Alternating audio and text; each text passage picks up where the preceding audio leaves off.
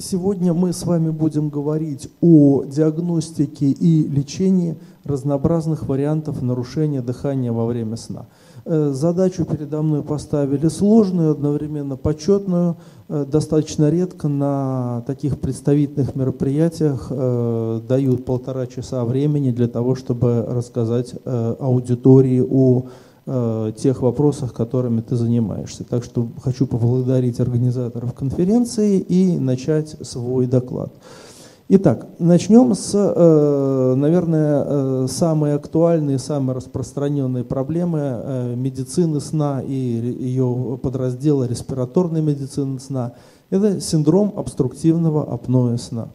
Существует э, энное количество определений того, что представляет из себя это патологическое состояние, но основная идея заключается в том, что это э, расстройство, возникающее во время сна, характеризующееся периодической закупоркой, коллапсом верхних дыхательных путей при сохраняющихся дыхательных усилиях, что приводит к нарушению структуры сна, приводит обычно к снижению насыщения крови кислородом, внешне проявляется ночью храпом, днем сонливостью, ну и э, достаточно широким спектром разнообразных других симптомов.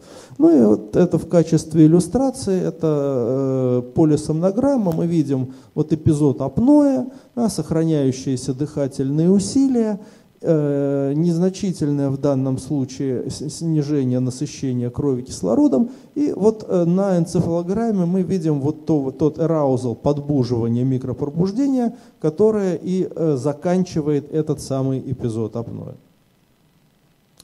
Как же это происходит? Ну, всегда проще один раз увидеть, чем несколько раз услышать. Итак, пациент засып, ложится, засыпает – После того, как он засыпает, тонус верхних дыхательных путей, как и все мышцы тела, он потихоньку снижается. Э, в какой-то момент э, это приводит к э, тому, что стенки глотки начинают вибрировать, и в этот момент мы слышим храп. А дальше, когда ситуация прогрессирует, мы видим смыкание стенок рота и гортана глотки, дыхательные усилия сохраняются, но пациент не может вдохнуть.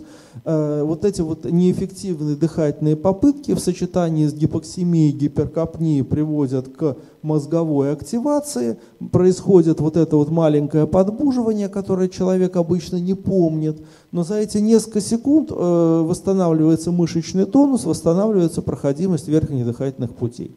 Человек засыпает, мышечный тонус падает, он опять начинает храпеть, потом тонус э, гипотония мышц усугубляется, и э, опять происходит закупорка верхних дыхательных путей. И таких событий за ночь может быть 100, 200, 300 штук. Э, как это выглядит? Вот это э, реальная пациентка, э, происходит мониторирование э, с параллельной видеозаписью. Вот э, мой любимый размер, причем в данном случае я абсолютно э, как бы политкорректен. Я люблю как крупных мужчин, так и крупных женщин. И вот апноэ. Ну, можете посоревноваться с этой дамой, задержав дыхание. Вот э, видите, э, видно, что она пытается вдохнуть, да, но ничего у нее из этого не получается. И вот она все не дышит, не дышит. В этот момент обычно аудитория начинает за пациентку беспокоиться и нервничать. Не волнуйтесь, ничего не случится. В этот раз все обойдется. Но она все еще не дышит.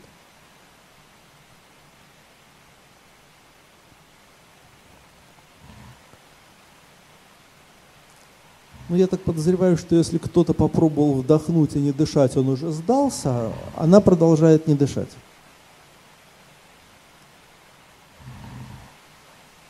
Вот это все, это все продолжается один эпизод обструктивного апноэ. Производит впечатление, да? Вот, и вот она, вот, наконец-то вот подбудилась, схрапнула и задышала. Да? Вот. вот, собственно говоря, и вот а теперь представьте, что вот пройдет 15-20 э, секунд, и подобный эпизод у нее повторится. И так всю ночь.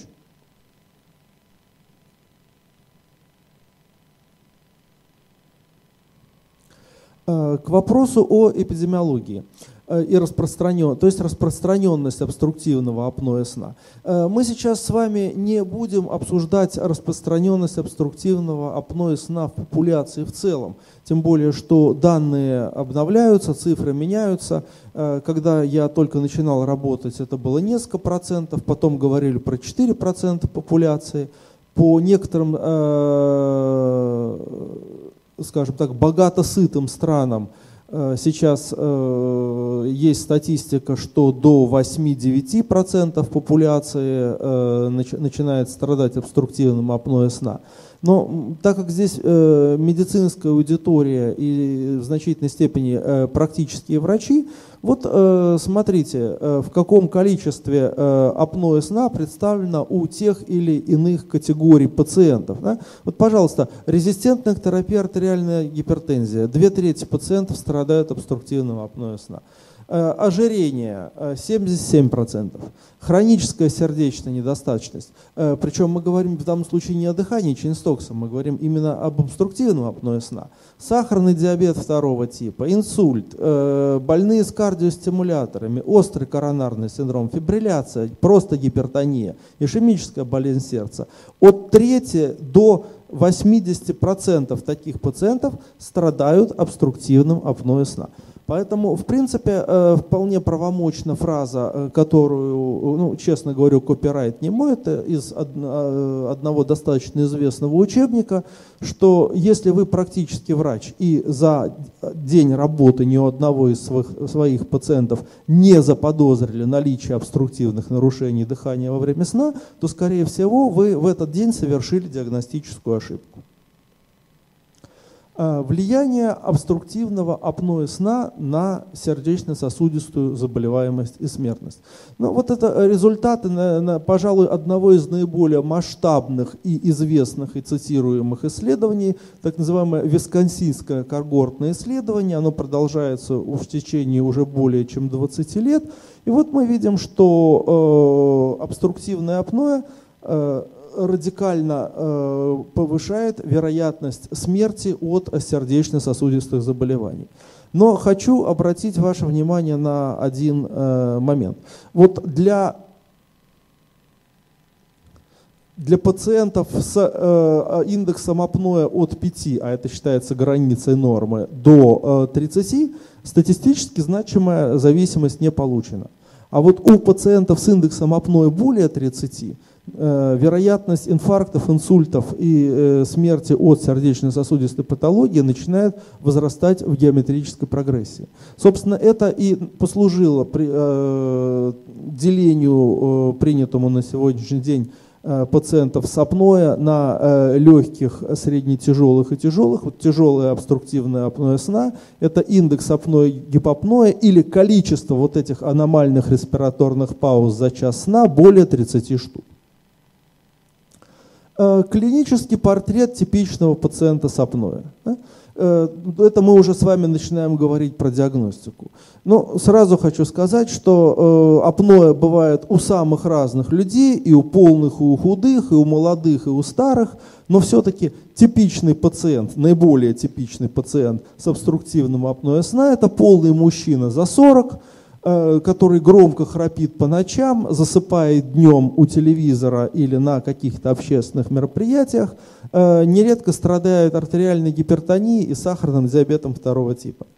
Э, при этом э, сочетание громкого храпа и дневной сонливости – это такое как бы ну, своеобразное э, клиническое ядро данного синдрома. И вот это в том или ином варианте вы встретите у всех больных с маломальски значимым синдромом обструктивного апноэ сна. Да, конечно же, это не основание для постановки окончательного диагноза, но вот на таких пациентов вы должны обращать внимание в первую очередь. Вот у меня уже просто на автомате, если я вижу полного пациента, один из, не самый первый, но один из первых вопросов, который я ему задаю, а храпите ли вы по ночам. Кстати, в этом смысле э, очень хорошо опрашивать не столько самого пациента, но и э, жен, подруг и соседей по палате, потому что если начать опрашивать окружающих, то количество храпунов возрастает приблизительно вдвое. Э, сразу хочу сказать, что на сегодняшний день не существует, уже доказано, что никакие опросники и анкеты не позволяют поставить достоверного диагноза. Они позволяют только выявлять определенную группу риска и, в общем, с моей точки зрения, не с научными целями врачу пользоваться какими-то анкетами специальными для выявления групп риска, ну, это нерационально. Это может использоваться для каких-то простых эпидемиологических исследований, либо как вариант. Вот э, если э, ваша работа в значительной степени заточена на выявление подобных пациентов, ну, прямо на уровне приемного отделения медсестра, в данном случае не врач, да, медсестра э, заполняет вместе с пациентом определенный опросник, уже автоматически известно, что этого пациента должен посмотреть сомнолог, пульмонолог или тот, ну, в общем, тот доктор, который занимается подобными проблемами. Вот в данном случае э, привел э, одну из э, недавно разработанных анкет-опросников. Э, ее прелесть заключается в том, что, во-первых, ее можно установить на смартфон, и второе, то, что э, ну, пациент может недооценивать, скрывать что-то да, от вас. Но э, здесь в анкете э, большая часть информации носит совершенно объективный характер, ну, за исключением вопроса про наличие храпа. Да? Особенно вот это э, важно для э, оценки каких-то вот э, рисков в специфических профессиональных группах. Ну, всем известно, да, машинисты локомотивов, э, сотрудники э, каких-то предприятий, с, э, требующих высокий уровень внимания, концентрации и безопасности, авиадиспетчеры, пилоты, они изо всех сил скрывают наличие у них той или иной патологии, потому что для них честный разговор с врачом, к сожалению, зачастую выливается в, в некий запрет на профессию. Эти пациенты будут всячески скрывать наличие у них тех или иных патологических состояний. Здесь Здесь же мы э, ну, в значительной мере от, э, не зависим от честности ответа на те вопросы, которые мы пациенту задаем. Но еще раз, это не диагностика, это определение групп риска. Э, теперь про диагностику. Диагностика апноэ сна инструментальна. И в принципе существует э, несколько э, типов, классов приборов, которые могут испо потенциально использоваться для диагностики нарушений дыхания во время сна. А, эта классификация разработана Американской академией медицины сна. Сейчас она вроде бы немножко трансформируется, и э, американские авторы все чаще используют э, термин э, лабораторное тестирование и нелабораторное тестирование. Э, но, в общем, мне кажется, что в данном, э, данная чуть более сложная классификация лучше отражает те классы медицинской э, диагностической аппаратуры, которые присутствуют в том числе и на рынке. Итак, золотой стандарт – это полисомнография, стационарная, которая проводится при участии медицинского персонала – она объекти э, позволяет объективизировать э, параметры сна, дыхания, сердечной деятельности, двигательной активности. Э, и последнее время в Европе э, стал более даже популярен термин не э, полисомнография, а кардиореспираторная полисомнография. То есть подчеркивается, что мы э, фиксируем сон и физиологические параметры, характеризующие дыхание и сердечную деятельность. Да, это золотой стандарт, это очень точно, это замечательно, это сложно, это дорого. И э, если у нас с вами от 5 до 10% популяции, а в наших больницах э, в среднем порядка 30% пациентов это больные с синдромом обструктивного апноэ сна. Я даже не упоминаю, что существуют другие проблемы сна и бодрствования, которые требуют подобных исследований. Да? То чисто физи не физически, не материально мы не в состоянии сделать полисомнографию всем потенциально нуждающимся в обследовании пациентам. Значит, нужно искать какие-то выходы.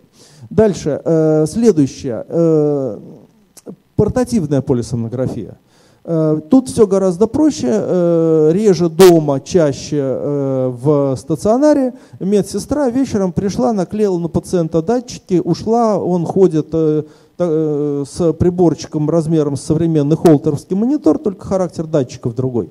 Вот. И, э, собственно говоря, вот то, что вы видели на картинке, э, не на картинке, а на видео, это вот был пример э, такого вот домашнего тестирования. Правда, там был кардиореспираторный мониторинг, о котором я поговорю как про третий тип. Итак, кардиореспираторное или респираторное мониторирование, вот эти вот термины кардиореспираторное, респираторное, это уже чисто российская придумка. Есть некое очень условное деление, но так, э, в общем, когда врач говорит, что у него есть кардиореспираторное мониторирование, а не респираторное, и это подчеркивает, ну, в общем, это скорее такой немножко рекламный ход, чтобы показать, что его аппаратура круче, чем у конкурентов или каких-то коллег. Итак, э, это можно делать э, как амбулаторно, так и в условиях стационара любого профиля. Э, и мы здесь записываем параметры дыхания и сердечной деятельности. К сожалению, да, э, здесь могут быть определенные погрешности, потому как э, мы не пишем сон. То есть, э, когда каждый метод хорош, когда его использует человек, который понимает его достоинства и недостатки. Естественно, при наличии каких-то значимых коморбидных состояний точность кардиореспираторного мониторирования может быть понижена. Конечно же, если пациент рассказывает вам э, грубые инсомнические жалобы, что он не может полночи уснуть, что он ночью просыпается и часами не спит, это не столь важно, так это или это больному кажется. Но вот у такой категории пациентов, конечно же, кардиореспираторное мониторирование не очень подходит, и таким пациентам надо делать полисомнографию. Но в принципе, э, ведь э, с чего мы начали? Что э, наша основная задача, да, кто умирает? Те, у кого индекс апноэ гипопноэ более 30. Поэтому, конечно же, прекрасно, если у нас будет возможность выявлять 100% апноэ, в том числе и э, больных с легким течением заболевания. Но если мы с вами пропустим некоторое небольшое число пациентов с легким апноэ и даже каких-то единичных пациентов со среднетяжелым апноэ, это не катастрофа. Да? Катастрофа, если лечение не получит пациент с тяжелым обструктивным апноэ сна. Э, ну, практически не встречаю ситуаций, когда кардиореспираторный мониторинг не позволяет определиться с форматом проблемы. Бывает, да, но в большинстве случаев этого достаточно, и поэтому на сегодняшний день, исходя из каких-то наших ну, скажем так, ресурсов, экономической составляющей, наверное, для неспециализированных, неэкспертных центров кардиореспираторный мониторинг – это одно из наиболее оптимальных по соотношению цена-качество-результат э, методов исследования диагностических методик. Ну и четвертый тип – это одноканальные или двухканальные мониторы, это воздушный поток, сатурация или они вместе. Э, я потом отдельно в на нескольких слайдах коснусь э, всех этих методов исследования и еще раз э, попробую свести воедино их сравнительную характеристику и возможность использования в нашей повседневной практике. Итак, э, полисомнография показывал, это просто более цветная и более красивая картинка, дыхательные паузы, сохраняющиеся дыхательные усилия, храп при пробуждении, э, вот это вот те самые раузелы, активации микропробуждения, называйте как хотите, вот, которые, э, собственно говоря, и являются защитным механизмом, позволяющим пациенту начать дышать. Э, ну, вот классический, классическая запись у пациента с тяжелой формы обструктивного апноэ сна. А теперь посмотрим, да, закрыли параметры, которые характеризуют сон – и то осталось у нас то, что мы называем кардиореспираторным мониторированием. Но э, что принципиально изменилось? Ну, в данном случае принципиально не изменилось ничего. Мы точно так же видим, что э, это больной с тяжелой формой обструктивного апноэ сна. Мы видим эти респираторные паузы, эпизоды десатурации и можем поставить высоко достоверный диагноз. Ну и вот в данном случае, просто чтобы показать, насколько это зачастую просто, небольш, э, небольшой ролик про то, что такое кардиореспираторный мониторинг. Моих технических способностей не хватило на то, чтобы убрать английский текст и записать свой. Ну вот а, канадский приборчик очень компактный, очень симпатичный, очень простой и именно заточенный в первую очередь, ну по крайней мере изначально производитель позиционирует его как прибор преимущественно для домашнего тестирования. Э, почему привожу эту картинку, э, это, видео? Потому что сам работаю вот с э, оборудованием вот этого производителя, оно мне нравится. Вот, ну, естественно, в силу того, что э, у меня все гораздо скромнее, чем э, в Канаде, где этот прибор производится, Э, я, это, э, я эти э, мониторчики использую для того, чтобы тестировать больных в э, стационарных условиях. Но чисто теоретически, вот э, это, собственно говоря, ролик, который э, сделан для пациентов, такая видеоинструкция, как э, на себя вечером этот прибор перед сном надевать. И вот мы видим, да, что регистратор, пульсоксиметр, э, это не просто э, ремень, который э, крепит прибор, это датчик дыхательных усилий.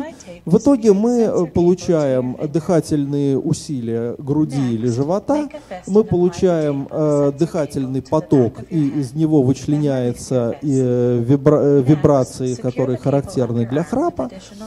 Э, сатурация, оттуда же частота сердечных сокращений, и плюс э, есть э, датчик двигательной активности. Во-первых, мы видим, э, в каком положении возникают э, эти эпизоды, и второе, это помогает определиться нам с э, тем, спал пациент, не спал.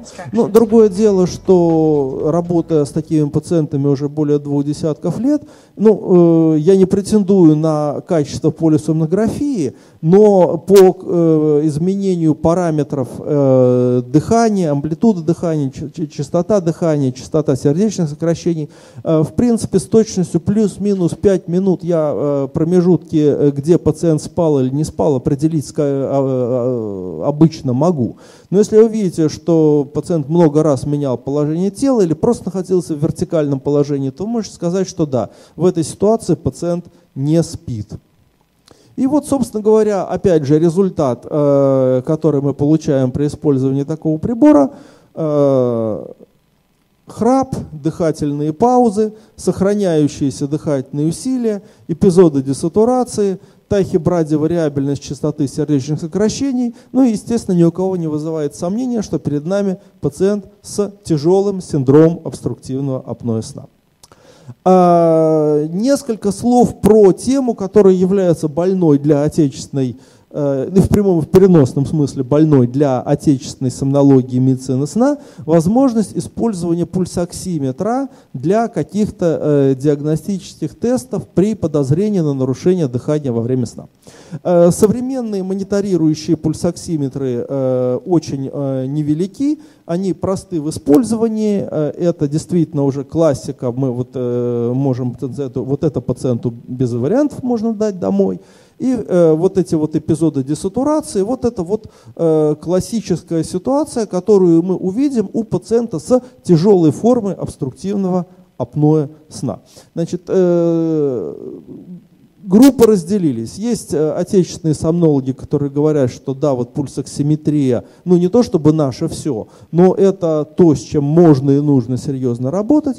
Э, другие говорят, что это бесполезная трата э, времени, сил и пусть небольших, но денег, и надо делать только кардиореспираторный мониторинг и более сложные исследования. Ну, кстати, Американская академия медицины сна тоже говорит, вот, что пульсоксиметрия, она достаточно бессмысленна.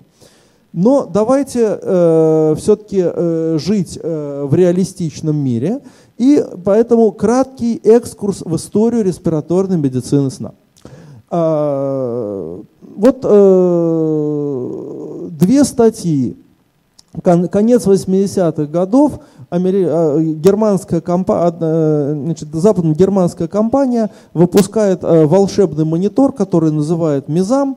и который служит для скрининга пациентов с синдромом обструктивного апноэ сна. И э, весьма известные до сих пор э, и чтимые специалисты э, подписываются, что э, это прибор, который обладает очень высокой диагностической ценностью. Э, тут даже пульсоксиметрии нет. Тут храп и частота сердечных сокращений. Вот. И э, результаты сравнивают с полисомнографией, говорят, что да, вот результат вот почти такой же. Та же самая компания, вот этот, этот прибор я уже застал, я на нем даже немножко поработал. Э, здесь добавляется пульсоксиметрический канал. Опять да, статья с участием живого классика мировой сомнологии Кристиана Желемино. Пишут, что очень хорошо все он диагностирует и очень это все полезно для доктора. Э, знаете, вопрос такой, какую популяцию мы возьмем? Если мы возьмем да, 100 мужчин, от 45 до 55 лет со значительным избытком веса и громким храпом, которые рассказывают нам дневную сонливость, то точность пульсоксиметрического мониторирования будет практически такая же, как и у пациента, который прошел полисомнографию. А вот если мы будем обследовать популяцию в целом, то тут, конечно же, точность исследования радикально падает. Вот. Но вот сейчас мы немножечко поиграем в лото. Э, я сейчас вам докажу и пользу, и бесполезность пульсоксиметрии. Вот начнем с доказательств того, насколько это хорошо. Вот у нас полисомнография, да, э, дыхательные паузы, десатурации, раузалы. Убрали полисомнографическую часть, оставили кардиореспираторный мониторинг. Есть у кого-то сомнение, что это тяжелый синдром обструктивного апноэ сна? Нет. Уберем кардиореспираторную часть, оставим пульсоксиметрию. А? Что мы увидим? Мы видим эпизоды десатурации. Ну и можно несколько спекулятивно заключить, что, как видите, полисомнография, она дорогая, кардиореспираторный мониторинг дешевле, но тоже дорогой. Давайте вешать на всех пациентов пульсоксиметр, и будет нам счастье. Теперь поиграем в другое лото. Болеет чем-нибудь пациент? Вот сатурация, прямая линия, абсолютно на хорошем уровне. Здесь цифр нет, но здесь э, сатурация выше 90%. Да, наверное, не болеет. Да?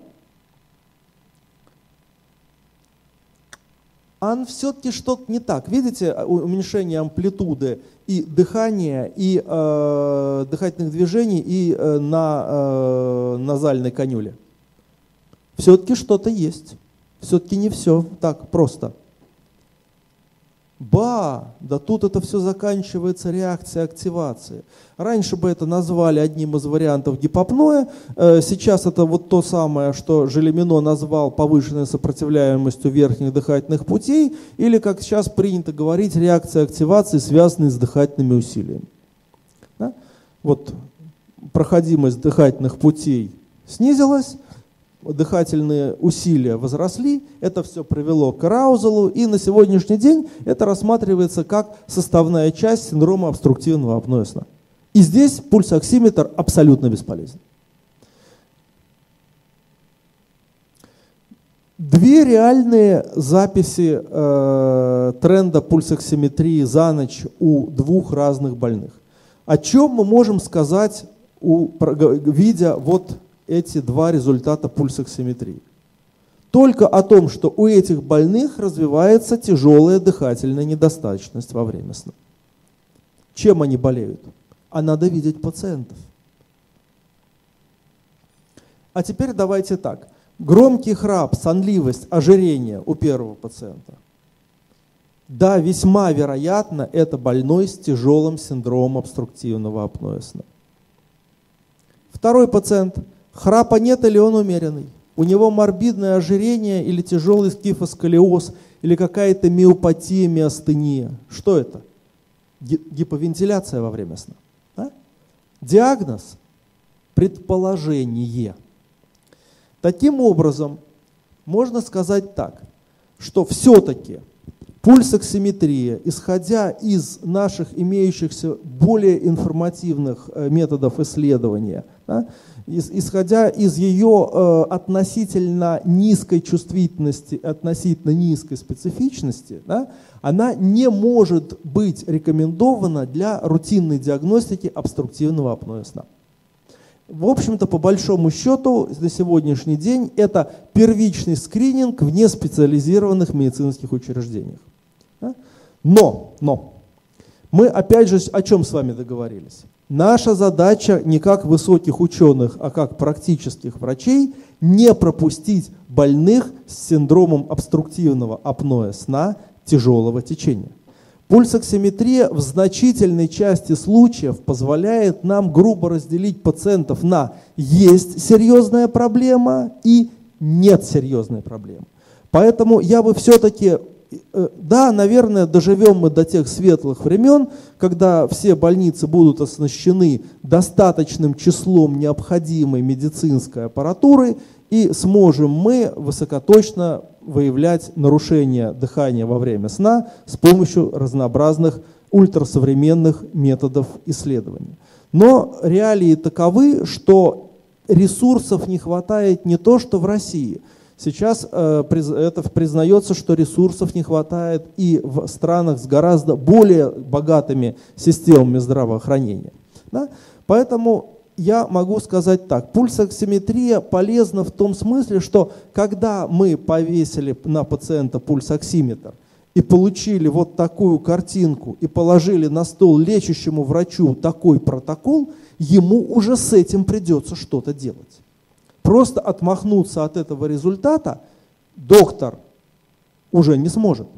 И это уже основание говорить пациенту о том, что, дорогой, у тебя большие проблемы, давай более детально обследоваться.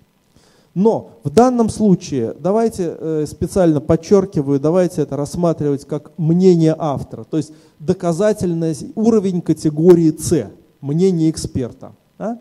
Все-таки при отсутствии других возможностей при наличии классической клинической картины.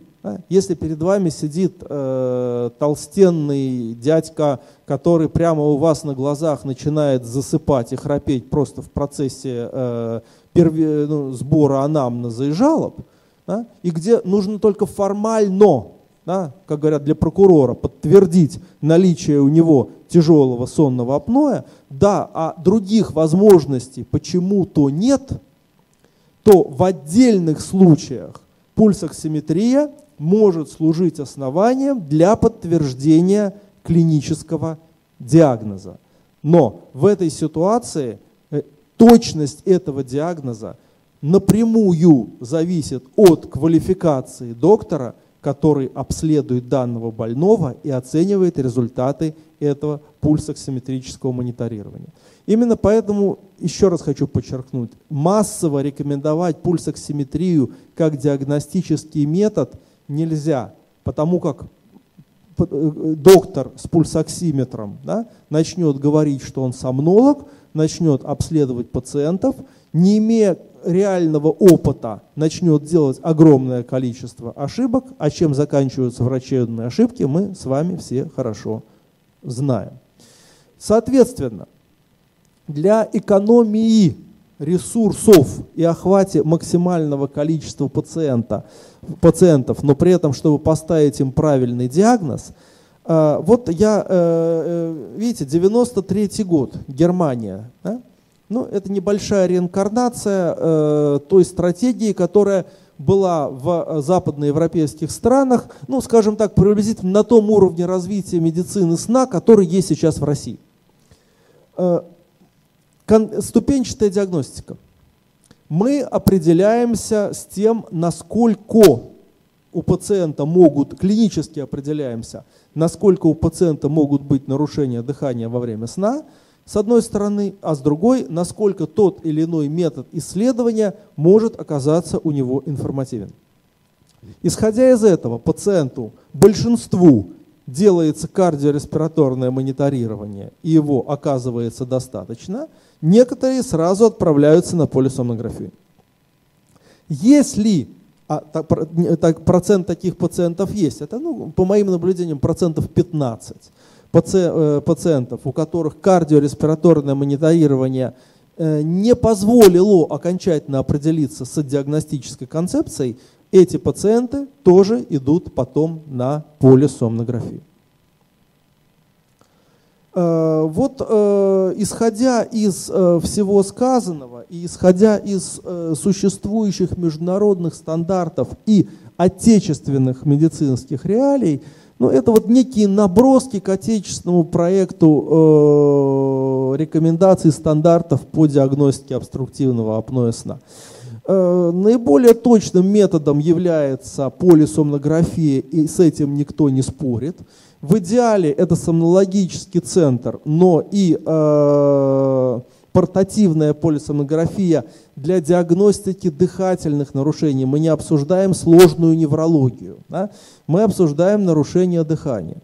Вот, на мой взгляд, э, портативная полисомнография для диагностики нарушений дыхания во время сна тоже может рассматриваться категорией золотого стандарта.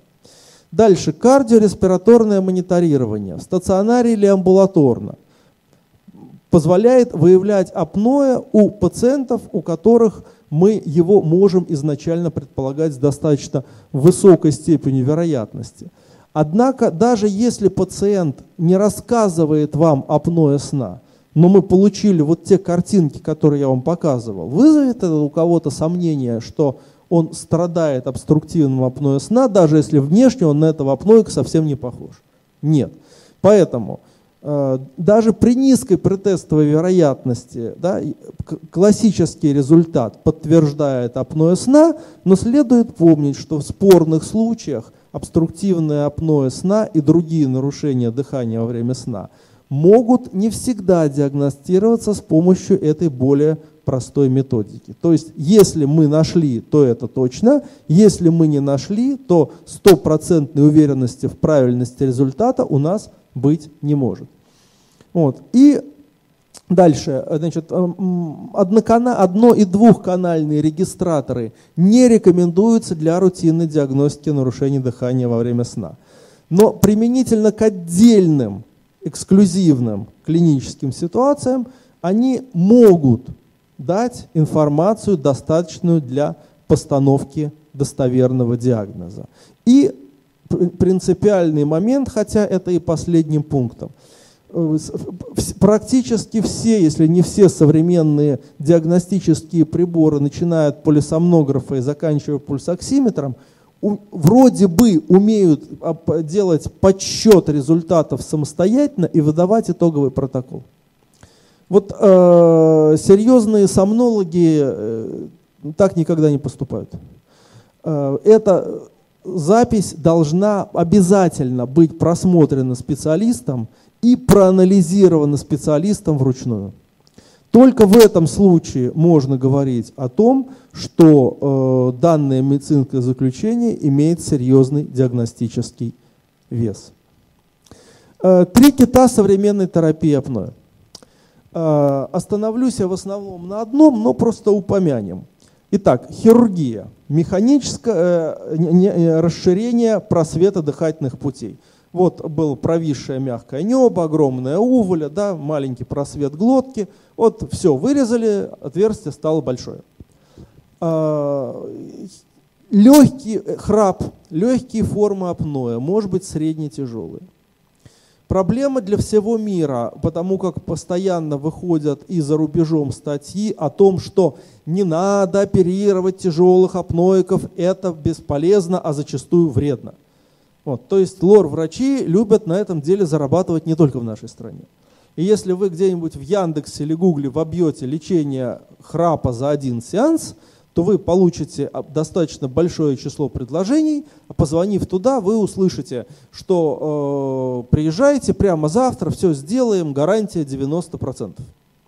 Вот. Только почему-то очень многие, слишком много пациентов умещаются в оставшиеся 10. Вот. Ну, э, беседа, конечно же, абсолютно абсурдная. Э, ну, представьте себе, звонок по телефону. «Э, Доктор, здравствуйте, у меня что-то в животе болит справа. А, ну это у вас холецистит наверняка. Приезжайте завтра, мы вас быстренько прооперируем, вечером будете дома, все будет хорошо. Но никто же такую ситуацию представить не может, правильно? Ну, почему-то с лор-хирургией храпа вот э, ситуация такая признается возможным. Обязательно предварительное обследование, обязательно отбор пациентов – Э, э, не буду останавливаться детально, э, но лор-доктора владеют определенными техническими методиками, позволяющими определять уровень, характер обструкции. И только если после всего этого решено, что пациент подлежит операции, это может дать достаточно неплохой результат. Если же оперировать всех храпунов подряд, то все будет печально. Э, другая методика, которая очень популярна сейчас за рубежом, но в силу просто менталитета отечественных пациентов э, пока что в России идет достаточно со скрипом. Это э, ротовые аппликаторы или протрузионные шины. Вот такое устройство, которое делается индивидуально, подчеркиваю, заготовки, продающиеся через интернет. Это все гораздо хуже и гораздо менее эффективно конкретно под пациента, под его зубы делается вот такое устройство, оно выдвигает вперед нижнюю челюсть, особенно это характер, э, хорошо для пациентов с ретрогнатией. Вот если э, просвет дыхательных путей сужен из-за того, что нижняя челюсть маленькая и сдвинута назад, то ее выдвижение вперед может дать весьма хороший результат. Но еще раз хочу подчеркнуть, да, квалифицированный стоматолог, знающий методику. Покупка через интернет устройства, которое разогревается в кипятке, а потом прикусывается зубами, ну, что я вам хочу сказать? Эм, ну, вот никто же не придет в магазин оптику и скажет, знаете, дайте мне очки от не очень сильной близорукости, вот в той вот оправе она мне нравится. Да? Все пойдут к окулисту, определят э, остроту зрения, получат рецепт на эти очки, и после этого пойдут уже их изготавливать или покупать. Вот э, здесь аналогия полная. Да? Я практически не встречал пациентов, у которых э, уже готовые ротовые аппликаторы давали какой-то внятный клинический результат. Но так, в принципе, методика считается весьма хороша. Э, для легких и даже средне-тяжелых форм апноэ сна. Более того, есть работы, которые показывают, что при непереносимости СИПАП-терапии использование ротового аппликатора это может быть резервный метод, потому как лучше лечиться недостаточно, чем не лечиться вообще. Положим, если это тяжелый апноэ с индексом 50, э, то такая шина может снизить этот индекс не до нормы, но вдвое, да? А индекс 20, 25 и индекс 50 это все-таки разница. Но еще раз, резерв. А так, пожалуйста, легкие, средне-тяжелые формы апноэ сна. Сейчас это доступно, и сейчас это доступно уже по не сумасшедшим деньгам. Ну и последнее, это разнообразные варианты неинвазивной э, вентиляции легких. Последние по списку, но первые по своей значимости. И это основная терапия среднего тяжелого и особенно тяжелого обструктивного апноэ сна. Ну вот, собственно говоря, опять же, э, иллюстрация, как это все происходит. Поступающий, на, мы одеваем на лицо пациента маску, она носовая или ротоносовая.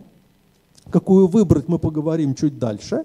И э, поступающий под давлением воздух создает воздушную распорку в верхних дыхательных путях, э, дыхательные пути не вибрируют и не спадаются, внешне нет храпа, по сути нормализуется дыхание во время сна. Э, метод очень эффективен и очень безопасен, и уникальность его заключается в том для медицины, что, ну, да, наверное, мало кто может предложить методику, да, которая радикально решает зачастую жизнеугрожающую проблему, и при этом вопрос ставится не поможет, не поможет, а захочет пациент пользоваться прибором или не захочет. Захочет, все будет хорошо. Не захочет, все будет не очень хорошо. И, значит, так, СИПАП-терапия и автосипап-терапия. На сегодняшний день существует э, весьма э, распространено новое поколение приборов, которые сами подбирают то давление воздуха, которое нужно пациенту в каждый конкретный момент времени. Э, на сегодняшний день эта технология дошла до того уровня, когда, в принципе, откровенно плохих автосепапов на рынке нет. Есть хорошие и очень хорошие. Э, но является ли автосепап-терапия э, золотым стандартом? Нет, и э, более, многие пациенты до сих пор продолжают пользоваться неавтоматическими приборами. И, в общем-то, в принципе, есть ситуации, когда неавтоматические приборы предпочтительны. Итак, значительная часть современных автоматических СИПАПов не уступает традиционным приборам. Более того, у отдельных категорий пациентов они могут оказаться более универсальными и эффективными. Э, когда? Э, ну, самая, э, пожалуй, актуальная, к сожалению, для России ситуация, когда ваш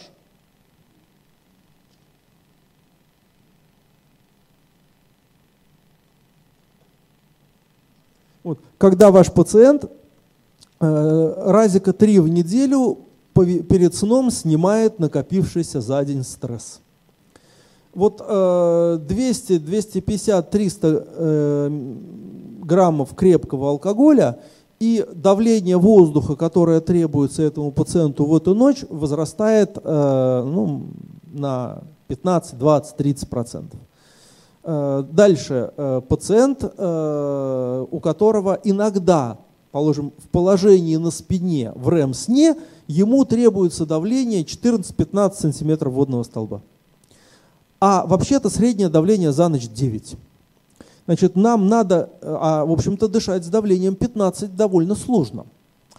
А, что делать? Либо мы не долечиваем этого пациента, ставя ему более низкий уровень лечебного давления воздуха, либо мы его перелечиваем, ставя по максимуму вот эти самые 14-15 сантиметров. И он нам говорит, доктор, я спать с ним не могу, мне трудно. Вот, э, а реально ему эти 15 сантиметров нужны, ну, 15% времени его сна. Вот у, тоже у таких пациентов автосипап это зачастую э, оптимальное решение подобных э, проблем. Э, что еще? Значит, мы можем дать автосипап для подбора давления, который пациент, э, у пациента потом будет установлено на, на неавтоматическом приборе, а не сидеть над ним всю ночь и вращать ручки собственными руками. Э, автосипап э, следует с осторожностью использовать у пациентов с сочетанной патологией. Если у пациента морбидное ожирение, если у него гиповентиляция, если у него тяжелая хобл, вот у таких пациентов автосипап в ряде случаев не срабатывает. И у таких пациентов аппараты, поддерживающие стабильный, постоянный уровень лечебного давления воздуха, во многих случаях оказываются предпочтительными. И э, есть ряд работ, э, это не стопроцентная доказательная база, но есть ряд исследований, которые показывают, что для ряда пациентов использование того, что я уже упоминал, да, вопрос комфорта, для некоторых пациентов э, автосипап может быть более комфортным, а комфорт СИПАПа – это большая приверженность к терапии, и мы уже договорились, наша задача, чтобы пациент пользовался прибором. Если ему некомфортно, он не будет. Поэтому зачастую это бывает не борьба за эффективность лечения, а борьба за ее комфортность, чтобы пациент нормально спал и нормально пользовался прибором. Значит, какие есть маски? Ну, вообще есть три типа масок. Носовая, ротоносовая и носовые конюли. Носовые конюли я не очень люблю из-за определенного дефицита времени. С вашего позволения я вообще про них здесь разговаривать не буду. Вот, э, а так, в принципе, маски носовые и рот носовые. Ну, здесь, э, наверное, просто ничего комментировать не буду, просто посмотрите, это достаточно хорошо иллюстрирует э, то, какие есть э, современные маски, закрывающие только нос и нос и рот.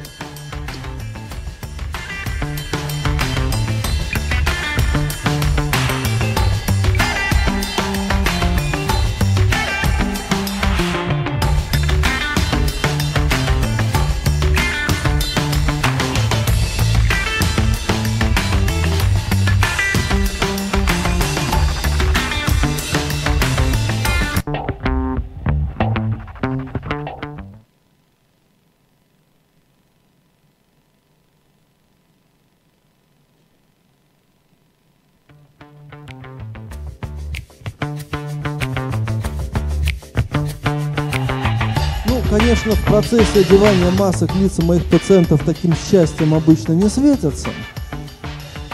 Потому что Бог нас все-таки не создал с маской, приклеенной к носу.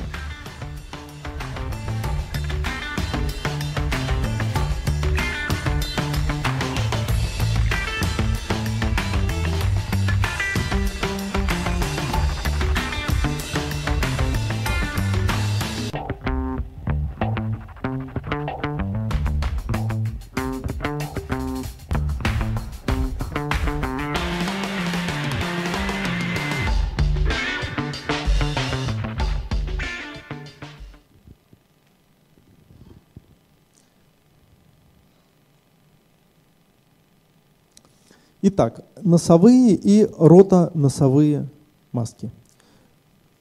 Что выбрать? Ну, в принципе, исходя из своего практического опыта, я это предполагал и раньше, потому что я это просто видел живьем.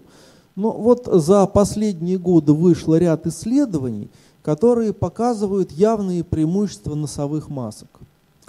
А, при использовании, ну, если эта масочка только на носу, это не просто более миниатюрно и более комфортно. Это обеспечивает более естественное физиологическое дыхание. Э, что мы получаем, если мы одеваем на пациента ротоносовую маску? Мы получаем более высокое лечебное давление и более высокий остаточный индекс апноэ. Откуда это берется? Дело в том, что когда мы фиксируем у пациента на лице носовую маску, то основная гермети... э, точка, э, ну, ос... основной вектор силы, да, который э, используется для герметизации, приходится на верхнюю челюсть. Она жестко фиксирована да, скелет, э, в, в скелете лица. Если мы одеваем на пациента ротоносовую маску, вот, герметизи... вот это вот это монтаж, да, а вот герметизирующие ремешки, они вот эти вот нижние. И, соответственно, мы давим на нижнюю челюсть. А я уже вскользь упоминал, что ретрогнатия – это один из значимых механизмов возникновения э, обструкции глотки. Вот э, подавляющее большинство худых апноиков с тяжелой формой заболевания – это пациенты с микро- и ретрогнатией нижней челюсти. Вот. А тут мы эту маску затянули и эту нижнюю челюсть сдвинули назад еще больше. И зачастую бывает, одеваешь на пациента ротоносовую маску, повышаешь давление, он храпит. Повышаешь, он храпит. Повышаешь еще больше, он храпит. Возвращаешь ему обратно рот, э, носовую маску, все, на, э, храп проходит, апноэ нет, и удается даже снизить величину давления воздуха. Значит, соответственно, кому мы даем ротоносовую маску? Это пациенты, у которых вот совсем не дышит нос. Это пациенты, у которых очень большая утечка через рот. Вот что ты не делай, а он вот во сне открывает рот, и через этот рот могучим потоком течет воздух. Алгоритм лечения сбивается, эффекта никакого, приходится все-таки давать ратоносовую маску. Хотя таких пациентов на самом деле достаточно мало. И это пациенты, которым э, требуются очень высокие цифры воздушного давления, и э, дышать с таким давлением только через нос, но чисто физически пациенту сложно, и для них э, субъективно более комфортными иногда оказываются ротоносовые маски. Но еще раз хочу сказать, что если вы не будете идти на поводу у стереотипов и на поводу у э, пожеланий ваших пациентов, их надо учитывать, да, но им не всегда надо следовать, то э, вот из моего опыта, э, из 10 пациентов, получающих СЕПАП-терапию, в конечном счете при правильном к ним подходе и правильном подборе типа э, маски, э, мы с вами получим, что из 10 пациентов 7-8 человек будут лечиться маской носовой. И только один-двое рота носовой. Повышение комфортности, а соответственно и приемлемости СИПАП-терапии для пациента. Ну, э, среди, э, учитывая существующую доказательную базу, на первом месте стоит подогреваемый увлажнитель. Вот э, если, вы видите, вот, собственно, вот э, СИПАП это вот, а вот второй блок это контейнер для воды, который э, работает, ну, если упрощенно, как э, кофе, ну, ну, простая кофе, кофеварка, где через фильтр э, поступает кофе, и потом снизу подогреваемое донышко, чтобы этот кофе остался горячий. Вот этот подогрев пациент может регулировать сам, и в зависимости от времени года его самочувствие, состояние может менять степень увлажнения. Это такой как бы э, мини, мини-климат-контроль в приборе.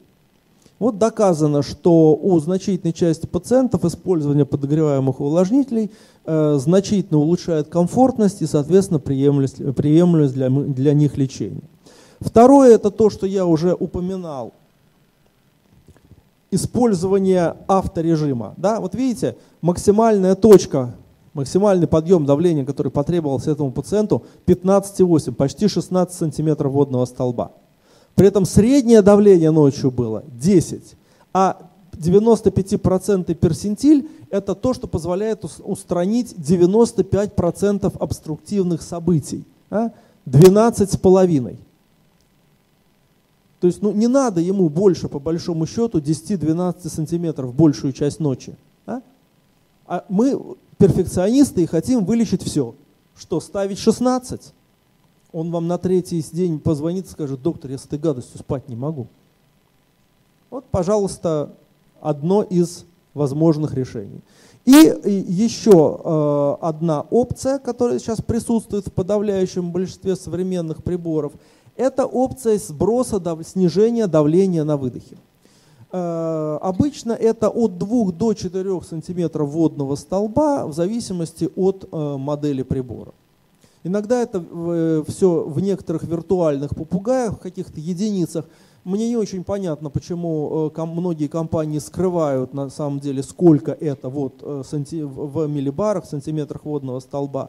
Но реально от 2 до 4, чаще 3-4. Дело в том, что давление воздуха, которое нужно для поддержания дыхательных путей открытыми, на вдохе и выдохе отличается. На вдохе оно должно быть больше, на выдохе оно может быть меньше. А? И поэтому мы можем позволить э, на выдохе давление немножко снизить. И особенно если пациенту требуется достаточно высокое давление для лечения, вот подобная опция позволяет существенно улучшить э, комфортность. Особенно в, процессе засыпания. Вот пациент только погрузился в сон, это еще не глубокий сон, такой тревожный, из которого пациент может легко вынырнуть. И если э, прибор начинает работать достаточно жестко, то это может пациента подбуживать. А, обычно, когда пациент уже глубоко уснул, это уже не столь принципиально. Кстати, э, именно с учетом этого в ряде моделей можно вот эту вот функцию сброса давления на выдохе поставить не на всю ночь, а только на время засыпания, положим, 30-40 минут. Кардиопротективные эффекты СИПАП-терапии. Пациенты с тяжелым апноэ живут не только плохо, но и коротко. Если мы лечим этих пациентов, то они живут хорошо и гораздо дольше. Вот э, еще одно часто цитируемое исследование. Ну, с одной стороны, опять же, оно подтверждает, что тяжелое апноэ повышает сердечно-сосудистую заболеваемость и смертность. Вот эти вот красные графики – это впервые возникшие инфаркты, инсульты. Это который, э, э, ситуация, когда пациент выжил. Это когда, ситуация, когда эти инфаркты, инсульты, впервые возникнув, э, оказались для пациента последними и привели к смерти. Но, э, опять же, э, это вот индекс апноэ, гипопноэ более 30. Вот. Но эта картинка нам интересна не этим. Она нам интересна тем, что вот здесь вот, вот в переплетении этих цветных линий, иллюстрирующих э, влияние на сердечно-сосудистую патологию легкого и среднетяжелого апноэ, здесь же пациенты, получающие СИПАП-терапию. Вот пока он был тяжелым апноиком, судьба его была вот такая. Но он надел маску, нажал кнопку или даже не нажал, многие приборы сами включаются, такие неумные, да? и все. И в тот же час риски сердечно-сосудистые снизились до средних по популяции. То есть апноэ это не приговор. Вот если пациент курил 20 лет и у него хобл, он бросит курить, а хобл останется. Если тяжелый апноик надел маску и подключился к аппарату СИПАП, в тот же день он перестал быть тяжелым апноиком. Остаются другие факторы риска. Возраст, вес, пол и так далее. Да? Но такой фактор риска, как апноэ, полностью с этого момента устраняется. У всех ли? Все-таки, с одной стороны, СИПАП, э, меня пациенты каждый раз спрашивают, доктор, а извините, это что теперь вот постоянно и навсегда? Я говорю, давайте договоримся, регулярно и надолго. Что значит регулярно? Опять же, в результате довольно большого числа исследований показано, что некое минимально необходимое лечение – это более 4 часов за ночь. Ну, некоторые еще говорят так, более 4 часов за ночь, более 5 дней в неделю. 5 и более дней. То есть, если пациент на одну ночь уехал к другу на дачу на шашлыки и не взял с собой СИПАП, с ним ничего за это не будет. Если пациент под утро проснулся с ощущением, что лицо от маски устало, и снял ее на 2 часа, ничего ему за это не будет. Если он поспал всего 2 часа за ночь, смысл процедуры утрачивается. То есть, итак, да, использование СИПАПа более 4 часов за ночь.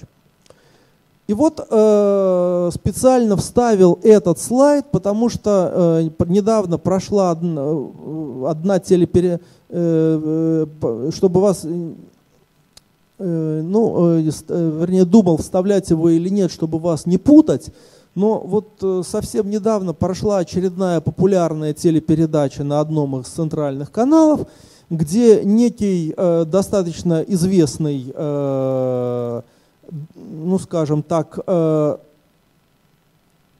врач, ведущий подобные передачи, Э, рассказывал про э, апноэ сна и СИПАП-терапию, рассказывал, что вот от апноэ живется плохо, что лечится это СИПАПом, что возникают разнообразные сердечно-сосудистые осложнения, а в конце взял и сказал, что, знаете, вот э, СИПАП это хорошо, и чувствовать вы себя будете лучше, но от инфаркта все равно помрете. Вот как бы вот современные исследования показали, что не уменьшает СИПАП-терапия риск э, сердечно-сосудистой заболеваемости и смертности.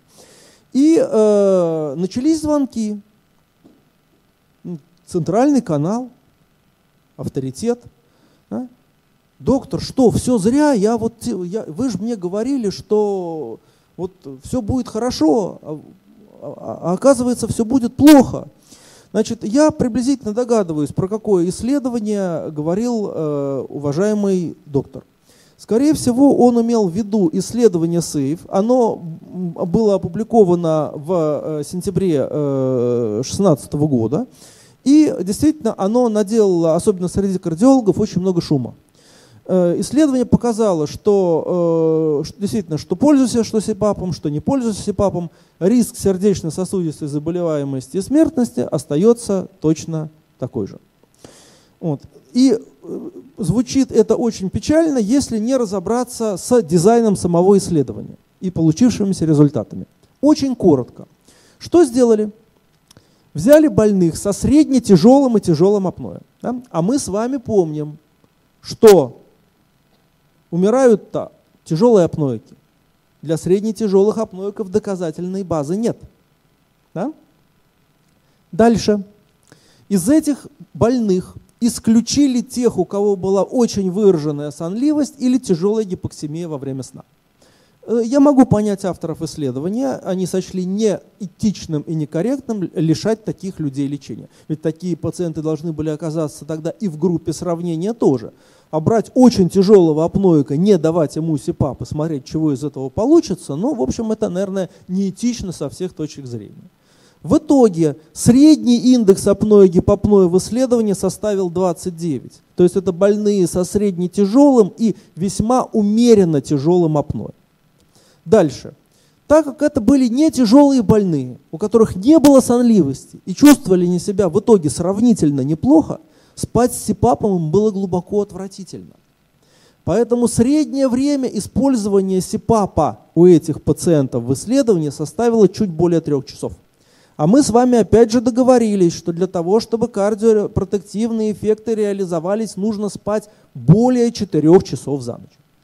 Ну и, э, соответственно, э, можно было, ну, не знаю, я, я бы мог заранее предсказать, что получится именно то, что у них получилось. Да?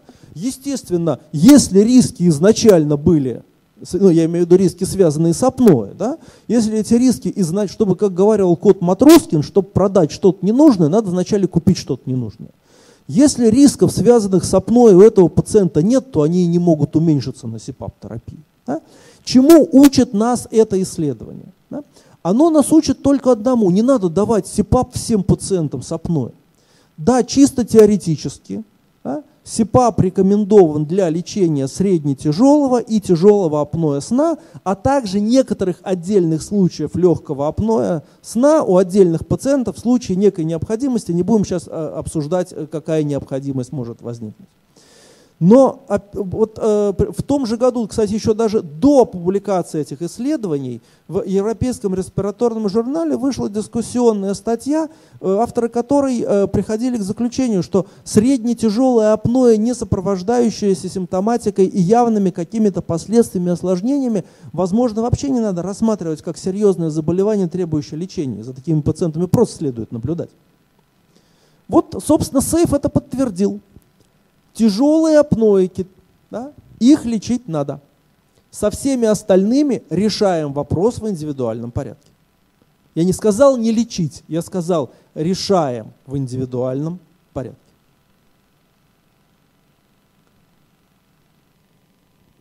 Вот. Ну, СИПАП-терапия, неинвазивная вентиляция легких, ну, звучит так это вот э, серьезно. Теперь э, я хочу, ну, я, я не пытаюсь э, принизить формат действа, но э, вот э, вам иллюстрация того, что, в общем, все несложно и все не страшно. Вот пациентка сама одела масочку, легла в кровать, э, зачем-то нажала кнопку, хотя, в принципе, в этой модели прибора можно установить автостарт, когда прибор э, сам видит, э, вернее, чувствует дыхание пациента. Вот. Утром можно поиграть с мужем в слоников, вот, после чего э, эта масочка снимается, и пациентка, наконец, выспавшаяся и жизнерадостная, начинает э, свою полноценную жизнь. Вот. Но мы с вами говорили о том, что э, как бы СИПАП, автосипап, требует определенного контроля. Конечно, мы можем верить аппарату на слово – да, а практически любой прибор сейчас, нажимаешь утром на некую комбинацию клавиш, и он тебе выдает резюме за какой-то отрезок времени, чаще всего за последнюю ночь. Э, сколько времени лечился, какое давление воздуха было, какой остаточный индекс апноэ. Да? Вот, ну, действительно, врут они все реже и реже, но все-таки они иногда врут. Поэтому, если мы хотим с вами реально проконтролировать эффективность СИПАП-терапии. А простейший способ подбора СИПАП – это дать пациенту на несколько дней в аренду автосипап домой. Но просто дать и успокоиться не совсем правильно. В большинстве случаев все сработает хорошо, но большинство это не 100%. Вот э, опять же, современные приборы СИПАП, они работают как некий кардиореспираторный монитор. Они запоминают все, что происходило. Как пациент дышал, был ли храп, были ли остановки дыхания, как прибор сам работал в ответ на эти остановки дыхания. А еще практически к любому современному прибору можно присоединить специальную пульсоксиметрическую приставку. И, собственно, вот, пожалуйста, мы получаем то, то же самое кардиореспираторное мониторирование, только еще видим э, кривую давления воздуха. И надо не просто посмотреть на цифры в протоколе, а надо развернуть эту запись и посмотреть ее глазками. Потому что не всегда ваше мнение да, при визуальной оценке может совпасть с мнением прибора. Вот если вы а, э, здесь просто вся ночь, а вы можете растянуть это 5, 10, 20 минут, как хотите. И если вы видите, да, действительно, апноэ, гипопноэ не было, сатурация была нормальная, все, лечение эффективно, этот прибор в этом режиме пациенту может быть рекомендован. Ну и э, такой чисто риторический слайд и риторический вопрос. Существует ли на сегодняшний день адекватная альтернатива СИПАП-терапии при синдроме обструктивного апноэ сна тяжелого течения? Да, существует. До 1981 года, когда австралийский доктор Салливан придумал лечить апноэ СИПАПом, тяжелых апноиков лечили с помощью трахеостомии. Создавался байпас в обход закупорки верхних дыхательных путей, стопроцентная эффективность. Стопроцентная. Да?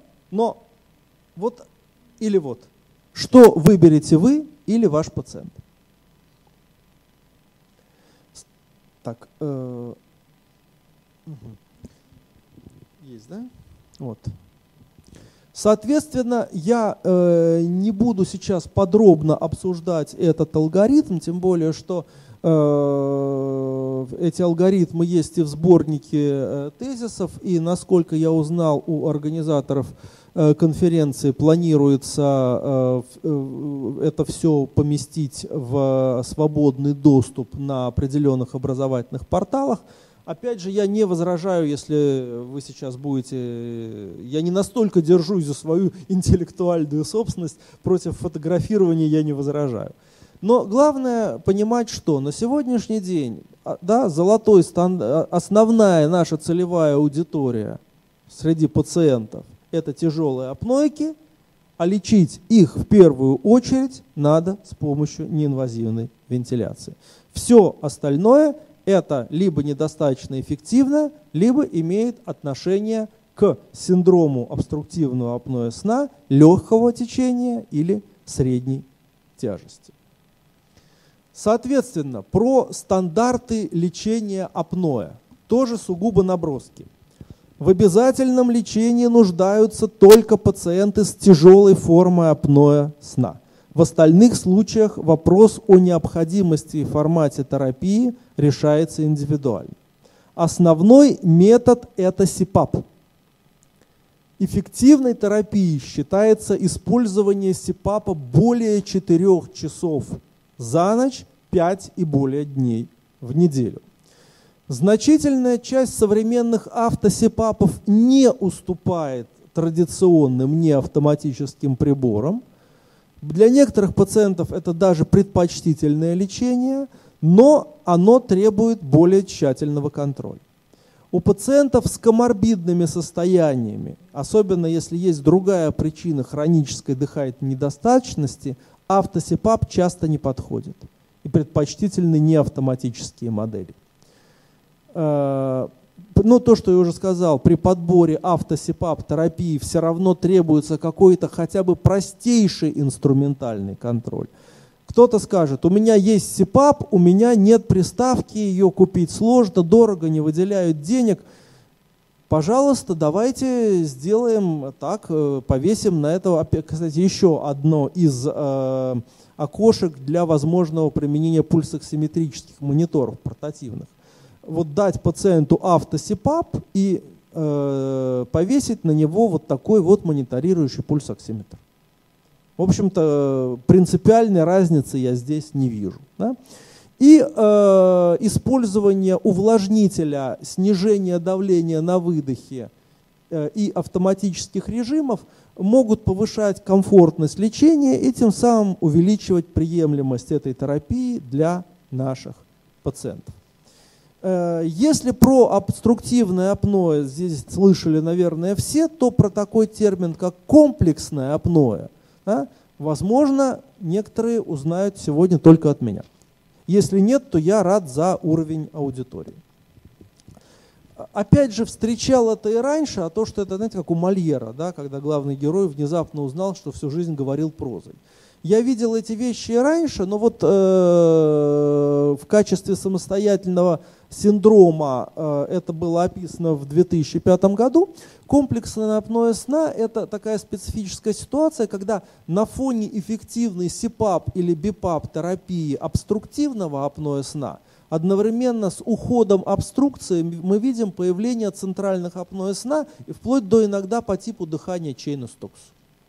Вот видите, исходно был тяжелый апноэ, дали ему СИПАП, и вот то, что я говорил, да, сам прибор играет роль респираторного монитора. Вот видите, появилось совершенно чудненькое дыхание Чейна-Стокса.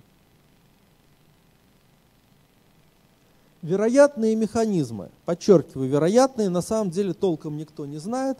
Более того, вот мое личное мнение, что э, эти механизмы у разных пациентов могут отличаться, потому что мне представляется, что существуют разные фенотипы пациентов с э, комплексным апноэ сна. Но, э, наверное, э, наиболее реалистично выглядит концепция, что э, при возрастании легочной вентиляции на фоне СИПАП или особенно БИПАП терапии падает парциальное давление углекислоты, в определенный момент, а чувствительность к углекислому газу у всех э, людей индивидуальна, то есть э, она всегда присутствует, и, в принципе э, гипервентиляции можно добиться апноэ э, сна у практически любого человека. Это, собственно, одна из основных составляющих горной болезни. Да? Когда у человека возникают центральные апноэ во время сна, кислорода мало, он гипервентилирует, СО2 вымывается, возникают дыхательные паузы. Вот э, мы снижаем насыщение крови углекислым газом, в какой-то момент э, ПЦО2 э, опускается ниже пороговых э, значений и возникает эпизод центрального апноэ. Как это потенциально можно лечить? Ну, э, я сейчас вот, э, это не, не только касательно комплексного апноэ, но просто маленькая ремарка про еще два метода лечения. Про СИПАП мы с вами уже поговорили. Есть еще два класса приборов, которые могут использоваться для лечения нарушений дыхания во время сна. Это БИПАП-аппараты и серовентиляторы. БИПАП – это прибор, который дает не один, а два уровня положительного давления – давление вдоха, давление выдоха. Вы спросите, а чем отличается этот бипап от того сипапа со снижением давления на выдохе, про который я вам уже упоминал? А, собственно говоря, тем, что если при э, СИПАП-терапии это служит для комфорта и давление не может снизиться более чем на 3, максимум 4 сантиметра водного столба, здесь мы можем выставить разницу практически любую. Да? И если СИПАП на сегодняшний день считается неинвазивной вентиляцией, но не считается методом респираторной поддержки, БИПАП – это респираторная поддержка. Вот мы устанавливаем давление выдоха приблизительно на уровне СИПАПа. Почему? Потому как дыхательные пути, для того, чтобы были раскрыты, напоминаю, все-таки какое-то давление воздуха на выдохе все равно должно присутствовать. Да? А дальше начинаем повышать давление вдоха. И вот эта разница между давлением вдоха и давлением выдоха и есть та самая величина респираторной поддержки. Вот. И плюс есть S и T режимы. S это самостоятельное, T таймированное, это такой как бы дыхательный пейсмейкер. Да? Если у пациента сам не, мы устанавливаем минимальную частоту дыхания, если пациент по какой-то причине сам не сделал вдох, этот вдох навязывается ему аппаратом. Сервовентилятор более хитрая штука, это такая комбинация из автосипапа и автобипапа. Э, если совсем просто, это аппарат, который работает в противофазе с дыханием пациента. То есть чем больше дышит пациент, тем меньше работает аппарат, чем меньше дышит пациент, тем аппарат работает больше. То есть когда начинается уменьшение дыхательной активности, прибор начинает работать в режиме бипапа S, поддавая дополнительные импульсы, чтобы пациент делал полноценный вдох.